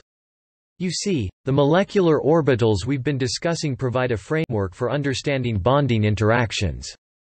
Hydrogen, with its unique electronic structure, can successfully form diatomic molecules due to its ability to create stable molecular bonds. On the other hand, helium, with its distinct electron configuration, faces limitations in forming stable diatomic molecules. This brings us to the intriguing prediction made by molecular orbital theory. While hydrogen readily participates in diatomic molecular formations, helium does not exhibit the same behavior. As we unravel the complexities of molecular interactions, Remember that electron configurations and energy considerations play a significant role in determining the outcomes. Let's move forward in our exploration of the molecular world. Fantastic job staying engaged, students! Let's take a moment to appreciate the insights that molecular orbital theory brings to our understanding of chemical bonding. This theory provides a deeper understanding of how electron configurations influence molecular properties. By examining the arrangement of electrons in molecular orbitals, we can predict and explain various bonding interactions. The power of molecular orbital theory lies in its ability to offer a comprehensive explanation for diverse chemical phenomena. From diatomic molecule formation, as we've discussed, to explaining the properties of complex compounds, this theory has far-reaching applications in the field of chemistry. So, as we continue our journey, remember that molecular orbital theory is a powerful tool that guides us in unraveling the mysteries of the molecular world. Stay curious and keep embracing the wonders of chemistry. Hello once again, dear students. Today, our quest for knowledge continues as we delve into the intriguing realm of molecular orbitals and electron configurations. Let's start by understanding what molecular orbitals are. These are regions in a molecule where electrons are likely to be found based on their energy levels. Now, one important concept is the idea of anti-bonding molecular orbitals. These orbitals have higher energy levels compared to the bonding orbitals and can actually weaken the bond between atoms.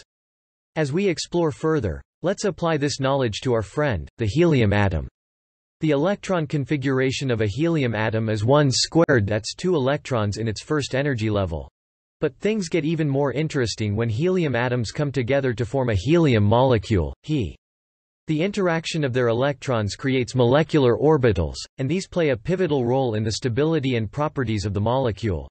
Now, let's venture deeper into our topic. Welcome back, students. Today, we're uncovering the mysteries of electron pairing and energy levels, particularly in the context of the helium atom. You see, electrons are social creatures. They tend to pair up in the same orbital whenever possible. This is called Hund's rule. In our helium atom, the two electrons in the 1s orbital exhibit this behavior, making the atom more stable. Now, let's explore energy levels in more detail. Electrons in the s subshell have unique energy levels. The closer an electron is to the nucleus, the lower its energy level. Also, don't forget about electron spin. Electrons have a property called spin, which can be either up or down. This spin plays a significant role in determining the arrangement of electrons in orbitals. As we journey further, you'll realize how these principles tie into the properties of molecules and their behavior.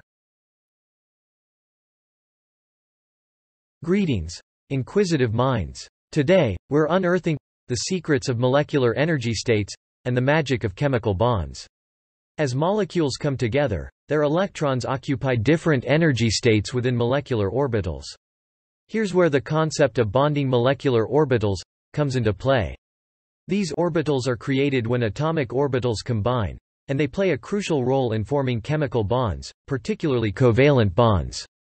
In a covalent bond, atoms share electrons, which results in a more stable arrangement, and, often, the release of energy. This energy release is at the heart of various chemical reactions, contributing to the incredible diversity of substances we encounter. So, as we journey deeper into this subject, keep in mind the intricate dance of electrons and the bonds they form. Null Hello, dear students. Today's journey takes us deep into the realm of molecular bonding and the fascinating world of molecular orbitals. Now, you might have learned about how atoms come together to form molecules. But have you ever wondered about the detailed mechanism behind this bonding? That's where the molecular orbital theory comes into play. It helps us understand the interaction of atomic orbitals and the formation of molecular orbitals. Within this theory, we encounter two crucial types of molecular orbitals, bonding and antibonding. Here's the twist bonding MOs are energetically favorable. When electrons occupy these orbitals, they contribute to stabilizing the molecule. However, on the flip side, anti-bonding MOs are slightly energetically unfavorable. When electrons are present in these orbitals, they actually raise the energy of the molecule. Now, imagine a scenario where there's an equal number of electrons in both bonding and antibonding orbitals. This equilibrium between stabilization and destabilization leads to a higher energy state for the molecule compared to separate atoms. And guess what? In this situation, no bond is formed. It's a delicate balance between these orbitals that determines whether a bond will emerge. So, my curious learners, keep this in mind as we move forward into more exciting territory. Hello, dear students. Today, we're delving into the intriguing world of diatomic molecules and their diverse impacts on our lives. Diatomic molecules are composed of two atoms of the same or different elements. Some of these molecules are benign, like nitrogen, while others can be harmful, such as carbon monoxide and cyanide. On the flip side, we have essential molecules like oxygen and nitric oxide that play pivotal roles in human physiology. Yes, you heard it right even simple molecules like these have a profound influence on our bodies. For instance, the NO molecule, despite having an odd number of electrons and being highly reactive, turns out to be a crucial player in various physiological functions. It helps relax muscles, combat foreign cells, and enhance memory. In fact, the groundbreaking research on no significance in the cardiovascular system earned three scientists the prestigious Nobel Prize in Physiology or Medicine in 1998. NO doesn't stop there, it serves as a neurotransmitter and takes part in numerous biological pathways. Its vital role in human metabolism was quite a surprise, considering its reactive nature and electron count. Such is the importance of NO that it was even dubbed the «molecule of the year» in 1992. And here's an interesting tidbit. Foods like leafy greens and beetroot contain nitrates that can be converted into NO in our bodies. So, let's journey further and explore the intriguing world of diatomic molecules and their impact on our lives.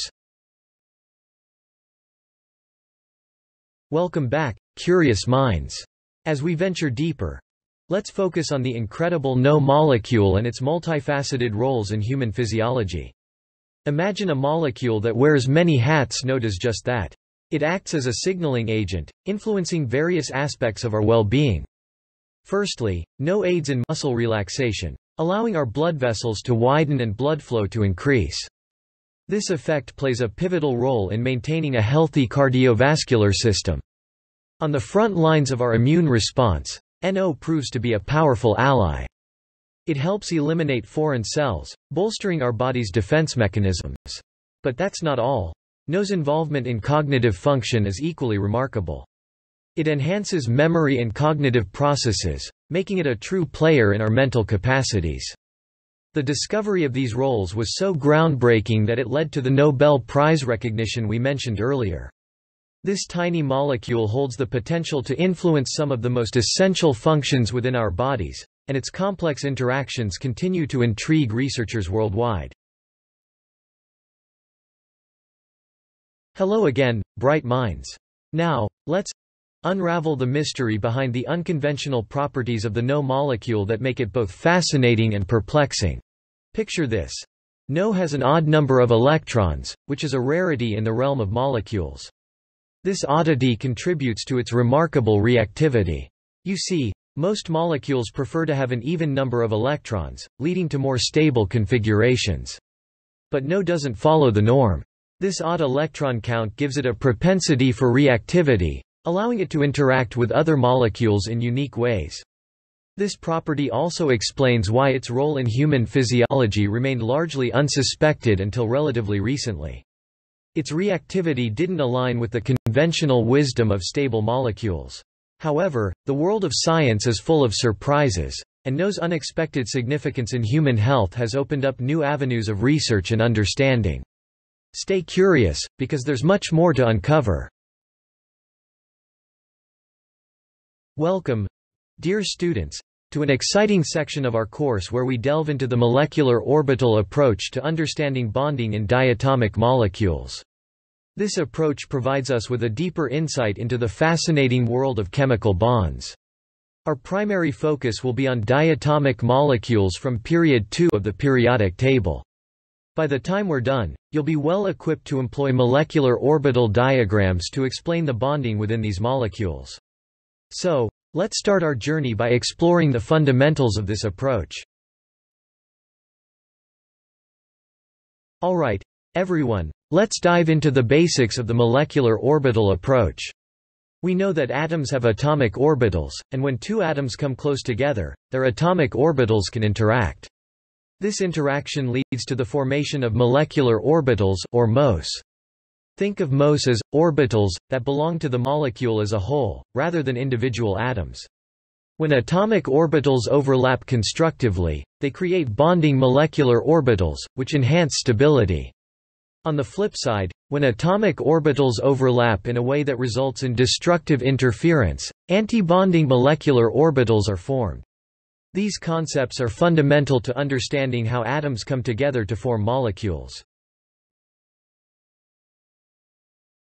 Now that we have a solid grasp of the molecular orbital approach, let's see how it applies to diatomic molecules from period 2. When two atoms from this period combine, they generate molecular orbitals specific to their bonding.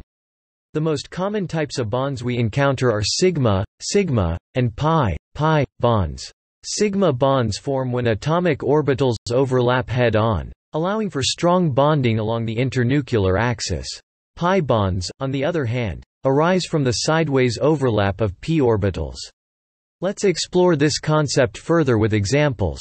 We'll Take a look at molecular orbital diagrams for molecules like O2 and N2, illustrating the formation of these bonds. Alright, let's get into the specifics with a focus on molecular oxygen, O. We'll delve into its molecular orbital diagram, showcasing the intricate process of bond formation.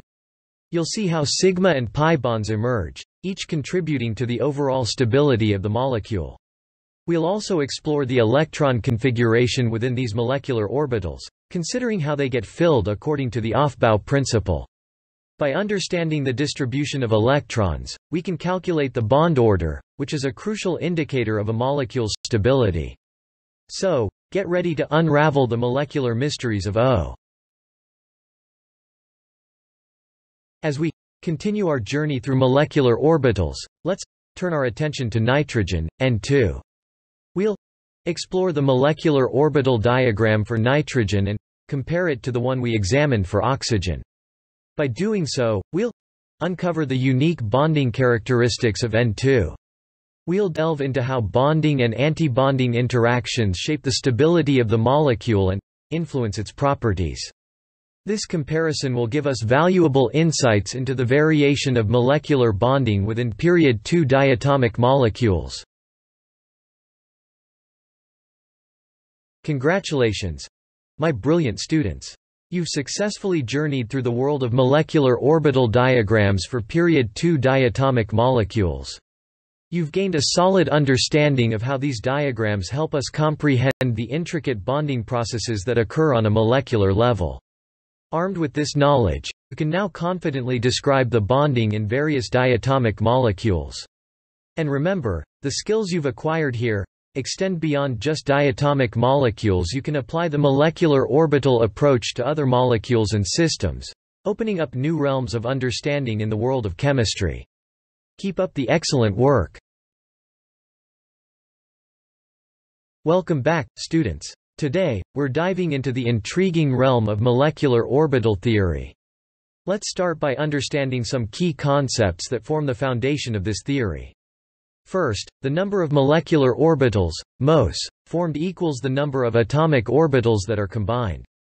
This principle is essential to understand how atoms come together to create molecules. Next, for effective combination, atomic orbitals with similar energy levels combine most efficiently. This leads us to our third point. The effectiveness of combination is directly proportional to the degree of overlap between these orbitals. As the overlap increases, the energy of the resulting bonding MO is lowered, while the energy of the anti-bonding MO is raised. This concept is crucial for predicting the stability and nature of molecular bonds. Now, let's talk about electron pairing. According to the Pauli exclusion principle, each MO can accommodate a maximum of two electrons, with their spins paired. This brings us to Hund's rule, which states that when MOs of the same energy level are populated, one electron enters each orbital, with the same spin, before spin pairing occurs. This principle helps us understand the arrangement of electrons in molecular orbitals. As we delve deeper into molecular orbital theory, Keep in mind how these rules guide us in understanding the complex world of molecular structures and bonding interactions. Hello again, students. Let's dive even deeper into the mechanics of atomic orbital combination and molecular orbital formation. When atomic orbitals come together, they form what we call molecular orbitals, MOs. This phenomenon is fundamental to understanding how molecules are structured and how they behave. Remember, the key to effective combination is the overlap of atomic orbitals, and this overlap is most efficient when the orbitals have similar energy levels. As a result of this combination, we get two types of molecular orbitals. Bonding molecular orbitals, BMOs, and anti-bonding molecular orbitals, ABMOs. BMOs have lower energy compared to the original atomic orbitals, indicating the formation of stable bonds. On the other hand, ABMOs have higher energy than the atomic orbitals, which suggests a destabilizing effect. This brings us back to the importance of overlap. The greater the overlap, the stronger the bonding interactions, leading to more stable molecules. The concept of molecular orbitals and their energies is pivotal in predicting the strength of chemical bonds. As we progress, you'll see how these principles play a role in shaping the properties of various compounds. Great to have you with us, students. Now, let's explore how electrons populate molecular orbitals, and the rules that govern their arrangement.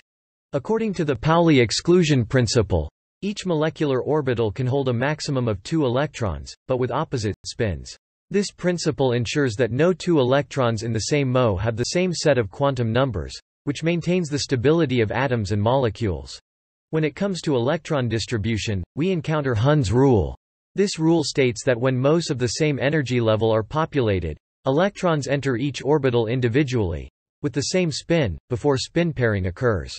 This configuration optimizes electron repulsions and stabilizes the molecule.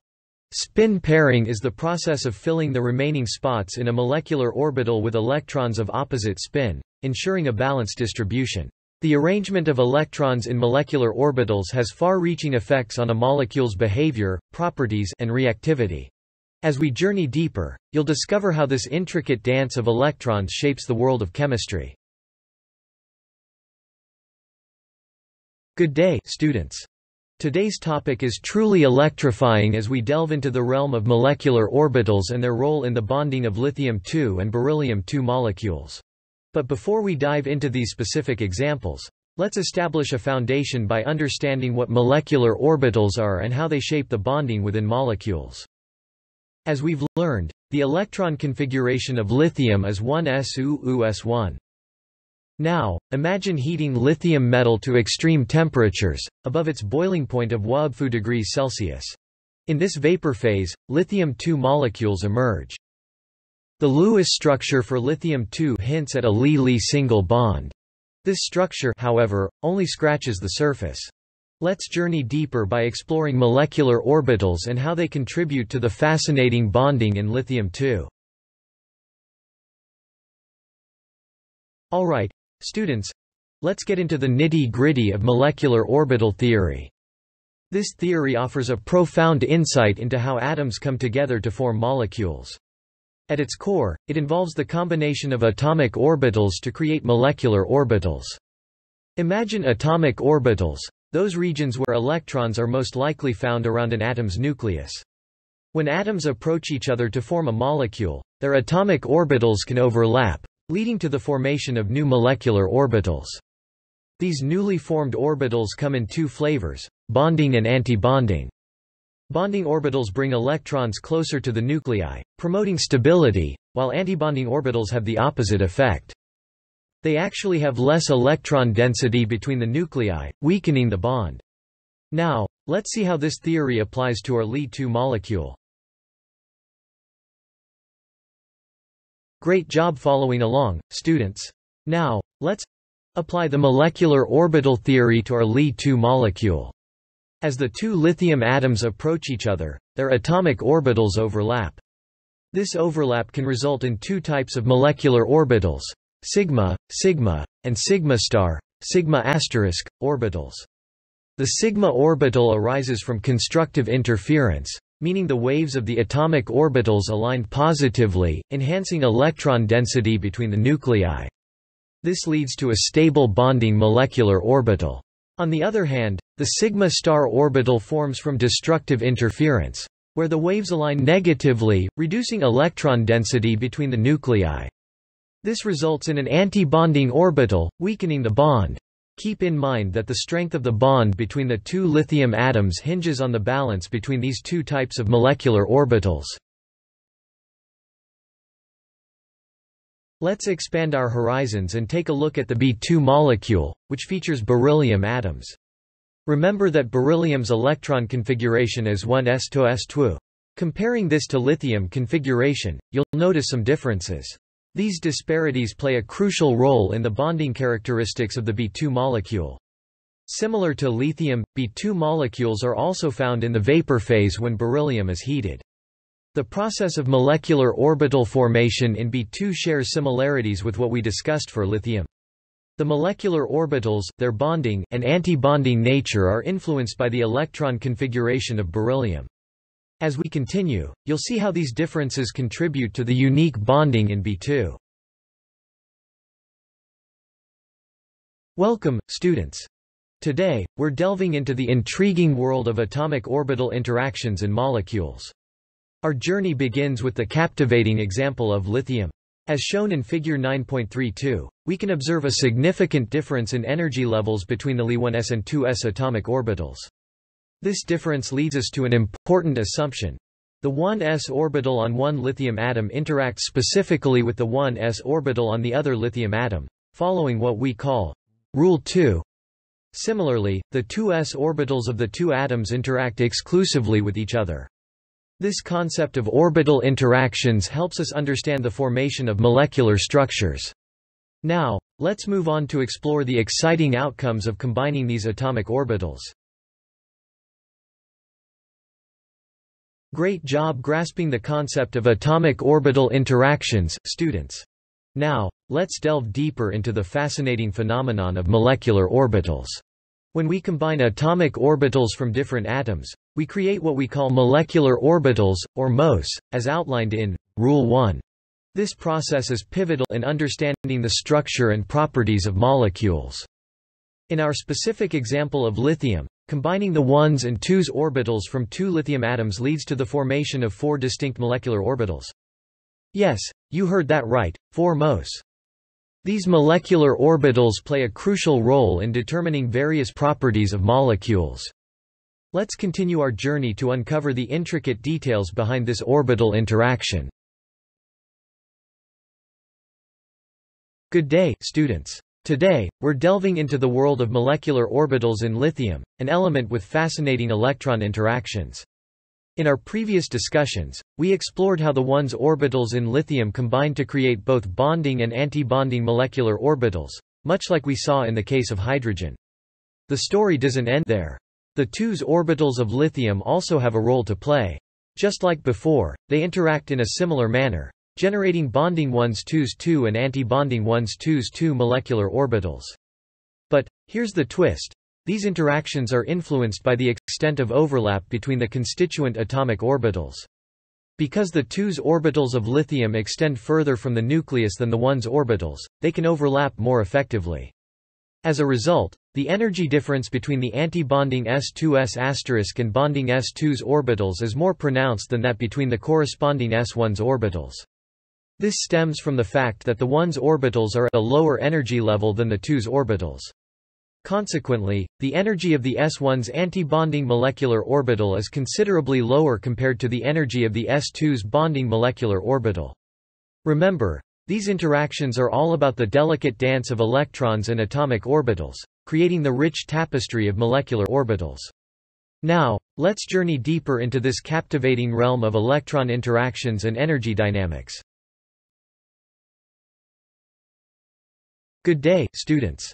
Today, we're delving into the intriguing world of molecular electron configuration and bonding, specifically focusing on the lithium molecule, Li2. To start, let's recall the electron configuration of a single lithium, lithium, atom, which is 1s2 sigma 2s2s2. Now, when two lithium atoms come together to form a Li2 molecule, something interesting happens. The six electrons from both atoms need to find their places in molecular orbitals or MOs. As illustrated in Figure 9.32, these electrons occupy different MOs, including S1s, S1s, and S2s, each with two electrons. This gives us the total electron configuration of Li2 as S1 S2 S1 S2 S S2 S2. Now, let's move on to the concept of bond order. Welcome back, everyone. In our journey through the world of molecular bonding, it's time to grasp the concept of bond order. Bond order essentially tells us about the strength of the bond between atoms in a molecule. For lithium U, let's break down the bond order calculation. We have four electrons in bonding orbitals and two electrons in antibonding orbitals. So, bond order equals open parenthesis 4 minus 2 close parenthesis, which is equal to 2. This signifies a single bond. To recap, the bond order of Li is 1, meaning a single bond holds the two lithium atoms together. This observation aligns beautifully with the Lewis structure of lithium U. Hello again, young minds. Let's explore the implications of our discoveries. As we've seen, the bond order of Li2 perfectly aligns with its Lewis structure, a single bond is present. This bond arrangement contributes to the molecule's stability. Our journey into molecular orbital MO, theory has allowed us to dive deep into the mechanics of bonding. By understanding how electrons are distributed within MOs, we gain insights into the nature of chemical bonds.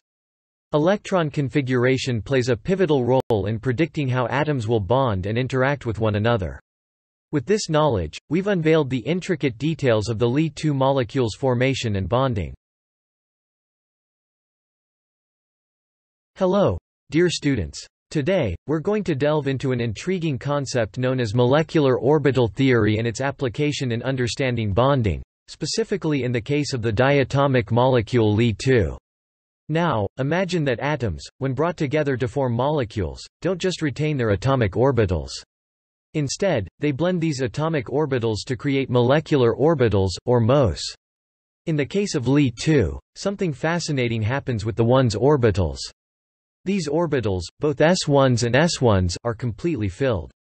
Surprisingly, they contribute almost nothing to the bonding in Li2. The reason lies in the fact that the single bond in Li2 is primarily a result of the interaction between the valence 2s orbitals of the two lithium, Li, atoms. It's like the dance of electrons as they find their ideal positions to create a bond. This brings us to an important principle. Core electrons, like those in the 1s orbitals, usually don't play a significant role in bonding within molecules. This rule aligns with the approach we use when drawing Lewis structures we mainly focus on valence electrons. As a result, we can skip further consideration of the 1s orbitals while exploring other diatomic molecules from period 2 of the periodic table. So, remember, when it comes to bonding, it's often the valence electrons that take the spotlight. Now, let's move forward and learn more about the fascinating world of molecular bonding. Welcome back, dear students. Today, we're delving into an exciting topic, molecular orbitals resulting from the combination of two p atomic orbitals. Before we jump into this, remember that molecular orbitals play a crucial role in understanding the behavior of molecules. Now, as we consider the period 2 diatomic molecules, let's first explore the fascinating world of 2p atomic orbitals. In figure 9.33, we see the interactions between these p orbitals. Notice that we've taken the internuclear axis as our z-axis for convenience. The two pz orbitals face each other head to head, and just like with s orbitals, we have two ways to combine them. The first combination brings electron density between the nuclei, giving rise to a bonding molecular orbital. On the other hand, the second combination excludes electron density from the bonding region, leading to an anti-bonding molecular orbital. Both of these molecular orbitals have their electron density aligned along the internuclear axis, making them s-type molecular orbitals, S2p and S2p. As you can see, the world of molecular orbitals is both intricate and fascinating. So, let's continue our journey to unveil more about this mesmerizing realm. Welcome back, students. Today, we're delving into the fascinating realm of molecular orbitals and the intriguing concept of pi bonds. Now, let's imagine the two p atomic orbitals overlapping in a unique way sideways. This overlapping results in the concentration of electron density both above and below the internuclear axis. We refer to these special molecular orbitals as pi1p2 molecular orbitals, drawing an analogy to p-bonds. It's quite similar to what we've learned about p-bonds so far. Specifically, we can form one p bonding molecular orbital by combining the two px atomic orbitals and another one by combining the two py atomic orbitals. Importantly, these two p2p molecular orbitals possess the same energy level, in other words, they're degenerate. Furthermore, this principle applies to two degenerate p** 2p antibonding molecular orbitals as well. These antibonding orbitals are oriented perpendicular to each other, just like the two p atomic orbitals from which they originate. This concept helps us understand the complex nature of molecular interactions. Let's move forward and explore more about molecular orbitals and their intriguing properties. Hello again, dear students. Today, we're delving into the fascinating world of molecular orbitals and their intriguing energy levels. Our journey starts with a fundamental concept orbital overlap. When two 2pz orbitals on different atoms directly point towards each other, their overlap is more pronounced compared to the overlap between two px or two py orbitals. This has profound implications for the energy levels of molecular orbitals. Specifically, the S2p molecular orbital is predicted to be more stable due to the greater overlap of the two pz orbitals. On the other hand, the p2p molecular orbitals might be at slightly higher energy levels. Now, let's shift our focus to another interesting aspect of this topic. Hello there, class. Today, we're delving into the fascinating world of electron configurations in molecules. Let's start by combining our understanding of molecular orbitals formed from s and p orbitals. As we progress, we'll construct an energy level diagram that specifically applies to homonuclear diatomic molecules of the elements boron through neon. These elements have valence atomic orbitals consisting of 2s and 2p orbitals. Now, pay attention as we explore the intriguing features of this energy level diagram. Welcome back, dear students. Let's dive deeper into the molecular orbitals of boron through neon. We know that these molecular orbitals are a result of the combination of s and p atomic orbitals. The energy level diagram we're exploring today provides us with a visual roadmap of electron distributions in these homonuclear diatomic molecules. Through this diagram, we gain valuable insights into the electron configurations of each element within this range. Great job keeping up, class! Now, let's focus on the arrangement of valence electrons, in the 2s and 2p atomic orbitals within these elements. The energy level diagram we're examining illustrates the distribution of these crucial valence electrons. Remember, valence electrons play a pivotal role in the chemical reactivity of an element.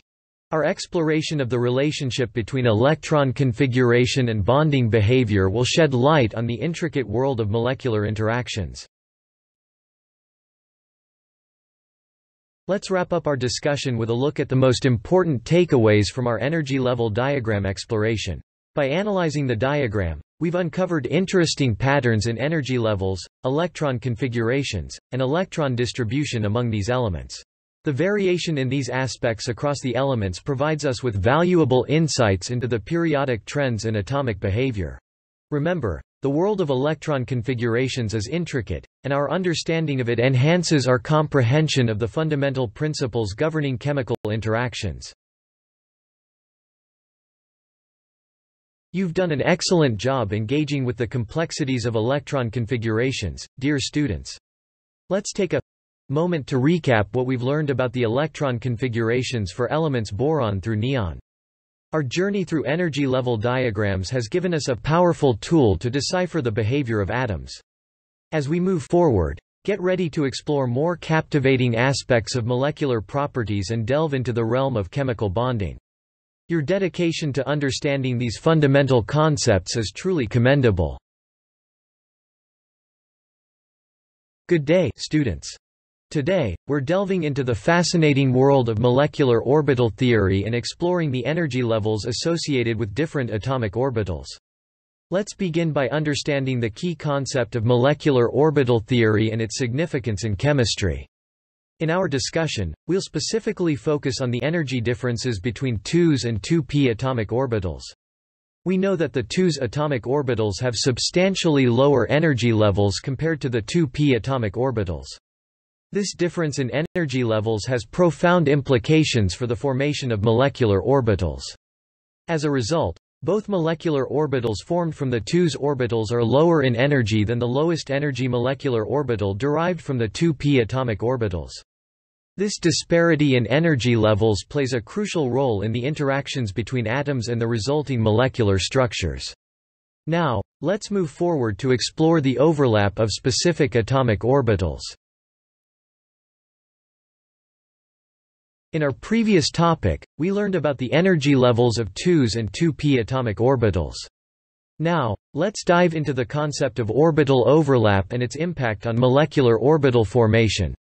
When it comes to the overlap of atomic orbitals, the 2pz orbitals exhibit greater overlap compared to the 2px and 2py orbitals. This specific overlap pattern leads to the creation of unique bonding and anti-bonding molecular orbitals.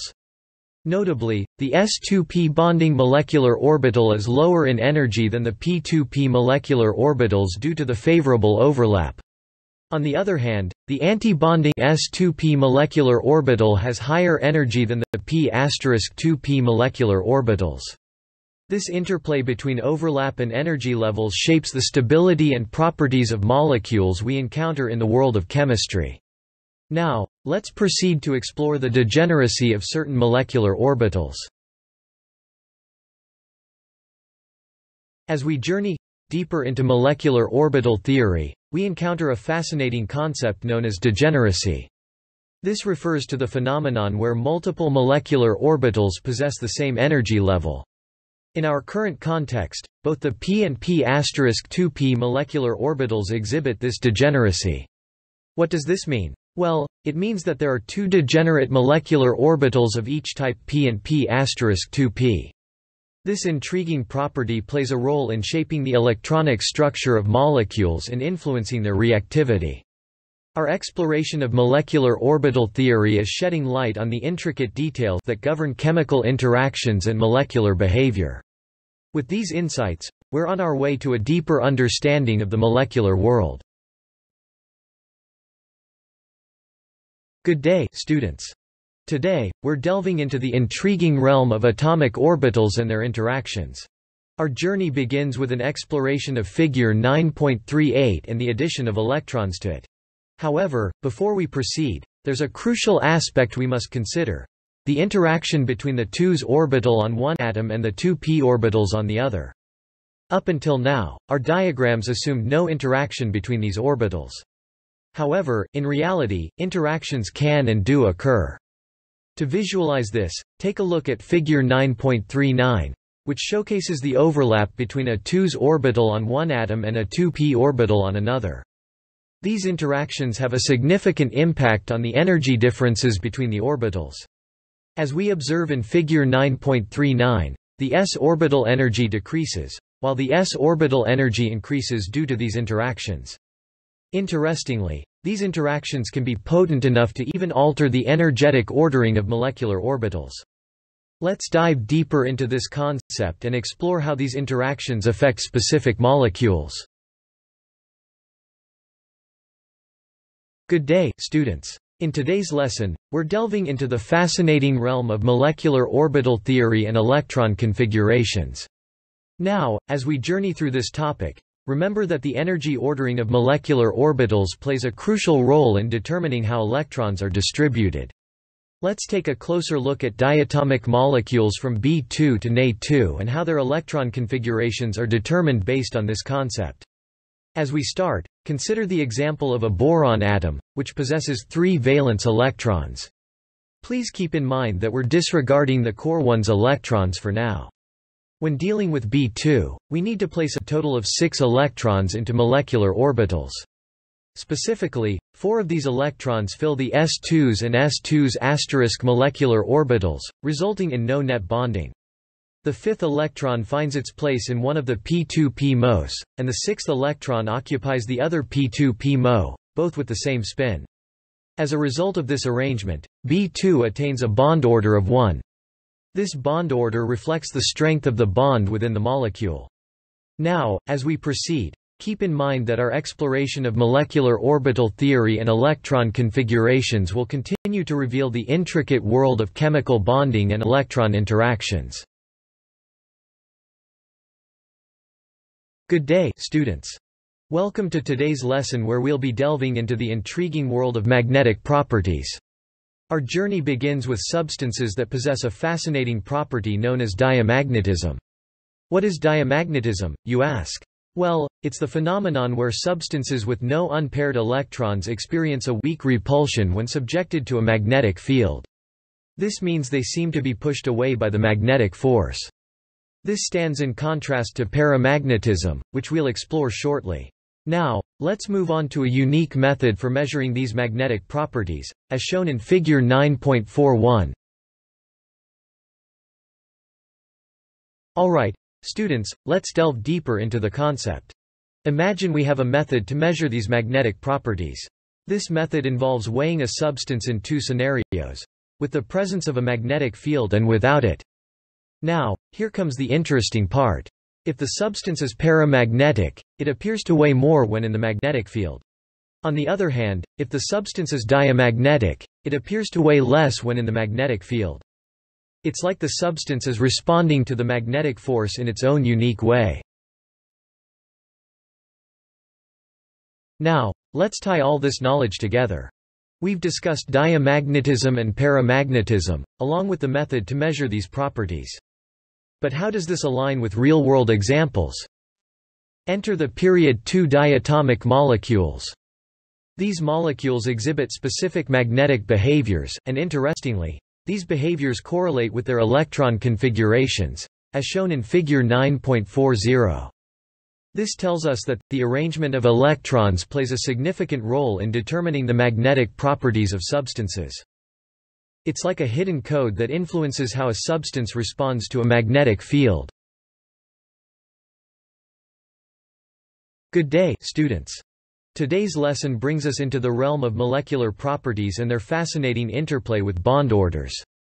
As we delve into this topic, we'll uncover the intriguing relationship between electron configurations in molecules and two crucial properties, bond distances and bond enthalpies. So, what exactly is bond order? Well, it's a measure of the number of chemical bonds between a pair of atoms. As bond order increases, something interesting happens.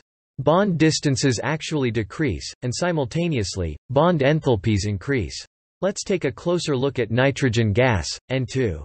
This molecule boasts a bond order of 3, which results in a remarkably short bond distance and a significant bond enthalpy. This robust bond contributes to N2's stability and its reluctance to react with other substances to form nitrogen compounds. But remember, while bond order is a key player, it's not the sole influencer. Other factors, such as nuclear charge and orbital overlap, also come into play when determining bond distances and bond enthalpies. Now, let's journey further into the intricate world of molecular properties and their underlying principles. Hello again, students. Let's venture into the world of molecular orbital theory with a captivating example, the bonding in O2. As we've learned, Molecular orbital theory helps us understand how atoms come together to form molecules. In the Lewis structure of O2, you'll notice a double bond between the oxygen atoms, and all the electrons are paired up. However, molecular orbital theory provides us with a more detailed perspective. It explains how these electrons are distributed among molecular orbitals, which are regions where electrons are likely to be found. In the case of O2, the molecular orbital diagram reveals the fascinating interaction between atomic orbitals, resulting in bonding and anti-bonding molecular orbitals. This intricate dance of electrons helps us comprehend the stability and properties of molecules. Let's delve even deeper into this intriguing topic. Hello again, dear students. Now, let's venture into the world of molecular bonds, and delve into the fascinating characteristics of oxygen molecules. Our second topic brings us to a discussion about the bond between two oxygen atoms. The distance between these atoms in the oxygen molecule is remarkably short, measuring just 121 picometers. Additionally, the bond enthalpy, which represents the energy required to break this bond, is quite high, clocking in at 1495 kilojoules per mole squared. These two factors strongly suggest the presence of a double bond between the oxygen atoms. You might wonder, what's a double bond? Well, it's a type of covalent bond where two pairs of electrons are shared between the atoms instead of just one. Let's keep exploring to uncover more intriguing details. Welcome back, dear students. In our ongoing exploration of chemical concepts, let's delve into the intriguing realm of molecular properties. Today, we're discussing a fascinating phenomenon called paramagnetism. Now, as you might remember, molecules can contain unpaired electrons. These unpaired electrons are responsible for a molecule's paramagnetic nature. Interestingly, this property isn't always obvious from the molecule's Lewis structure alone. Take molecular oxygen, O, as an example. Its Lewis structure doesn't explicitly show its paramagnetic character. To truly understand this, let's turn our attention to Figure 9.42, which demonstrates the paramagnetic behavior of O. This experimental observation aligns perfectly with the prediction made by molecular orbital, MO, theory. Speaking of MO theory, it not only predicts paramagnetism but also correctly determines the bond order of two, just like the Lewis structure did. Isn't it amazing how various theories and models help us unlock the hidden secrets of molecules? Now, let's venture deeper into this molecular enchantment. Greetings once again, attentive learners. Our intellectual journey now guides us through the intricate pathways of molecular orbital, MO, theory. This theory stands as a robust tool that enables us to predict various molecular properties, unlocking the hidden behaviors that Lewis structures may not immediately reveal. As we just discussed, one such phenomenon is paramagnetism, which arises from the presence of unpaired electrons. Unlike the Lewis structure, MO theory takes these unpaired electrons into account, allowing us to accurately predict a molecule's paramagnetic nature. Our trusty example, O2, showcases this beautifully. MO theory not only unravels paramagnetism but also aligns with the bond order prediction from the Lewis structure. Isn't it impressive how these theories complement each other, enriching our understanding of molecular bonding? So, let's continue our exploration, unearthing more captivating aspects of molecular science. Hello again, inquisitive minds. Our focus remains steadfast on the enigma of molecular oxygen, O2, and its paramagnetic character. As we've learned, O2 possesses unpaired electrons, rendering it paramagnetic. This intriguing aspect becomes even more evident when we examine real-world evidence. Behold, Figure 9.42 presents us with a visual representation of O2 paramagnetism. This experimental observation serves as a confirmation, aligning perfectly with the prediction set forth by our trusty companion, MO theory. The close correspondence between theory and experiment provides us with deeper insights into the behavior of molecules. It's remarkable how theory and practice come together to paint a complete picture.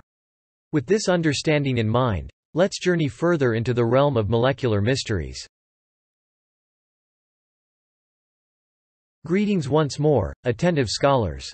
Our exploration wouldn't be complete without delving into the concept of bond order and its connection to MO theory. Bond order holds significant importance in understanding the stability and reactivity of molecules. The fascinating aspect here is how different theories approach this concept. We've already seen that both Lewis and MO theories predict a bond order of 2 for O2. However, MO theory goes beyond, providing us with a more precise understanding. This precise prediction aligns seamlessly with experimental evidence and solidifies our comprehension of molecular bonding. Think about it, accurate bond order determination lets us grasp the stability and behavior of molecules in various chemical contexts. So, let's keep this concept close as we venture forth into the depths of molecular intricacies. Welcome back, Dear students, Today, we're delving into the captivating realm of molecular orbital theory and understanding how electrons shape the bonds between diatomic molecules.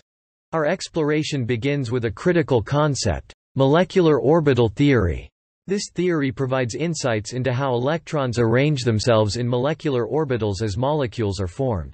Specifically, let's look at the fascinating transition from oxygen, O2, to fluorine, F2. As we move from O2 to F2, we add two electrons and intriguingly, these electrons completely fill the p and 2p molecular orbitals.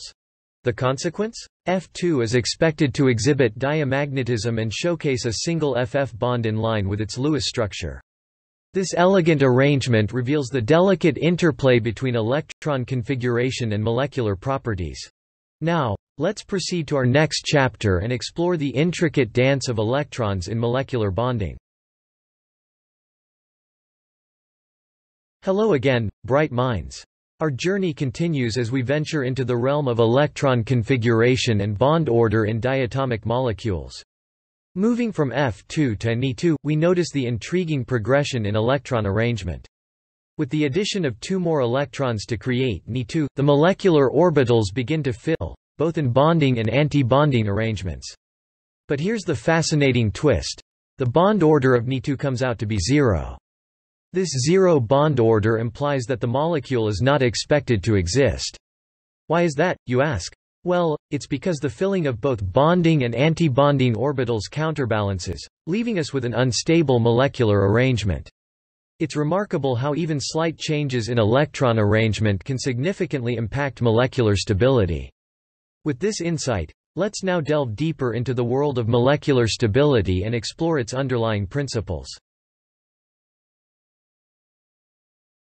Greetings once again, inquisitive minds. Our exploration of the intricate dance of electrons continues as we dive into the captivating topic of electron arrangement and its direct influence on molecular stability. We've already seen how the careful balance between filling bonding and anti-bonding orbitals can make or break a molecule stability. The concept of bond order serves as a vital indicator of this stability. Higher bond orders usually denote greater molecular stability. Yet, the subtle nuances of electron configuration can lead to either stability or instability. Consider the examples of stable diatomic molecules versus those that are too unstable to exist. This intricate interplay between electrons and stability underscores the profound connection between the microscopic world of atoms and the macroscopic world we observe. With this thought in mind, let's embark on a journey through more molecular mysteries. Hello again, dear students. Today, we're delving into the world of heteronuclear diatomic molecules. Remember our discussions on homonuclear diatomic molecules? Well, the concepts we learned there can be expanded to heteronuclear diatomic molecules, which are molecules formed by two atoms of different elements. This brings a new layer of complexity to our understanding of molecular structure. Picture atoms from two different elements coming together to form a molecule. This fusion of different atoms opens up exciting possibilities. As we'll discover with our upcoming example. Now, let's take a closer look at a fascinating heteronuclear diatomic molecule. Nitric oxide, commonly known as NO. Nitric oxide is composed of one nitrogen atom and one oxygen atom, making it a unique combination of these two elements. The specific atoms involved hold great importance in understanding the properties and behavior of this molecule. As we delve deeper into the intricacies of nitric oxide, you'll see how the interaction between nitrogen and oxygen brings about intriguing characteristics. Alright, students. Let's refresh our memory on molecular orbital theory. We've discussed how this theory helps us understand the distribution of electrons in molecules. Now, let's apply this theory to heteronuclear diatomic molecules. Just like with homonuclear diatomic molecules, we'll have bonding and anti-bonding orbitals here as well.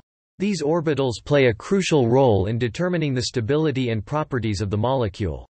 To help visualize this, let's explore an MO diagram for a heteronuclear diatomic molecule. Now, let's put our knowledge into action by constructing a molecular orbital diagram for nitric oxide. This diagram will help us visualize the bonding and antibonding orbitals present in the molecule. By analyzing this diagram, we can determine the bond order, which gives us insights into the molecule's stability and properties. As we unravel the secrets hidden within this diagram, you'll grasp how the arrangement of electrons influences nitric oxide's behavior. Let's now shift our focus to the chemical reactivity of nitric oxide. This molecule showcases remarkable interactions due to the presence of nitrogen and oxygen. Its reactivity isn't limited to the laboratory. Nitric oxide also plays a significant role in biological systems. We'll explore how nitric oxide participates in various reactions and learn about its broader implications. Get ready to witness the dynamic nature of this molecule's chemistry. As we wrap up our exploration of nitric oxide, let's dive into its real-world applications. This molecule isn't just confined to the realm of theory. It has found its way into numerous practical uses. From serving as a signaling molecule in our bodies, to playing a crucial role in medicine and industry, nitric oxide's impact is far-reaching. Brace yourselves for an exciting journey through the diverse applications that harness the power of this incredible molecule. Dear students, we've reached the end of our expedition into the world of heteronuclear diatomic molecules, with a special focus on nitric oxide. We've witnessed how different atoms can come together to form molecules with unique properties. Remember, understanding molecular structure and bonding is essential in unraveling the mysteries of chemistry. I encourage each of you to continue exploring the fascinating world of science and chemistry. There's so much more to discover beyond what we've covered today. Keep your curiosity alive and your thirst for knowledge burning bright. Until next time, stay curious and keep learning. Welcome back, everyone. Today, we're delving into the intriguing world of molecular structures and bond orders, focusing on the example of nitric oxide, or NO. Now, as we've discussed, the presence of a double bond in a molecule signifies a certain level of electron sharing. However, when we examine NO and compare its molecules to those in Figure 9.40, something interesting pops up. The experimental bond length of NO measures at 115 picometers, suggesting a bond order greater than the usual double bond. This raises a question. How can we explain this using the molecular orbital, MO, model? Alright, let's get into the nitty-gritty of the molecular orbital, MO, model, which is a powerful tool for understanding the bonding in molecules like nitric oxide. In this model, we consider the concept of molecular orbitals, which arise from the combination of atomic orbitals. When atomic orbitals interact constructively, we get bonding molecular orbitals, and when they interact destructively, we have anti-bonding molecular orbitals. This interaction is vital in determining a molecule's stability. Now, back to NO. To explain the bond order greater than 2, we need to consider the involvement of pi orbitals, which are important for multiple bonds like double bonds and even triple bonds. By combining atomic orbitals in a specific way, the MO model helps us make sense of NO's unique bond characteristics. Great. Now, let's delve deeper into the specifics of how the molecular orbital model helps us grasp NO's bond order greater than 2. In the MO model, we consider the formation of pi bonding and pi antibonding orbitals. These pi orbitals contribute significantly to the strength of multiple bonds. When these pi bonding orbitals form, we observe an increased electron density between the nuclei, resulting in a stronger bond. The concept of bond order comes into play, calculated as number of bonding electrons minus number of antibonding electrons, divided by 2. This formula gives us a quantitative measure of the bond's strength. By plugging in the values for NO, we can understand how the MO model accounts for its unique bond order. Bravo, students! Through our exploration of the molecular orbital model, we've successfully unraveled the mystery behind nitric oxide's bond order greater than 2. This example underscores the incredible power of the MO model in deciphering complex molecular bonding patterns. Understanding these principles isn't just important for this specific case. It forms a foundational aspect of chemistry. The MO theory guides us in comprehending the intricate dance of electrons and nuclei in molecules, enriching our understanding of the molecular world. As we wrap up our discussion, remember that chemistry is a journey of constant discovery, and the MO model is just one of the many tools that help us navigate this fascinating realm.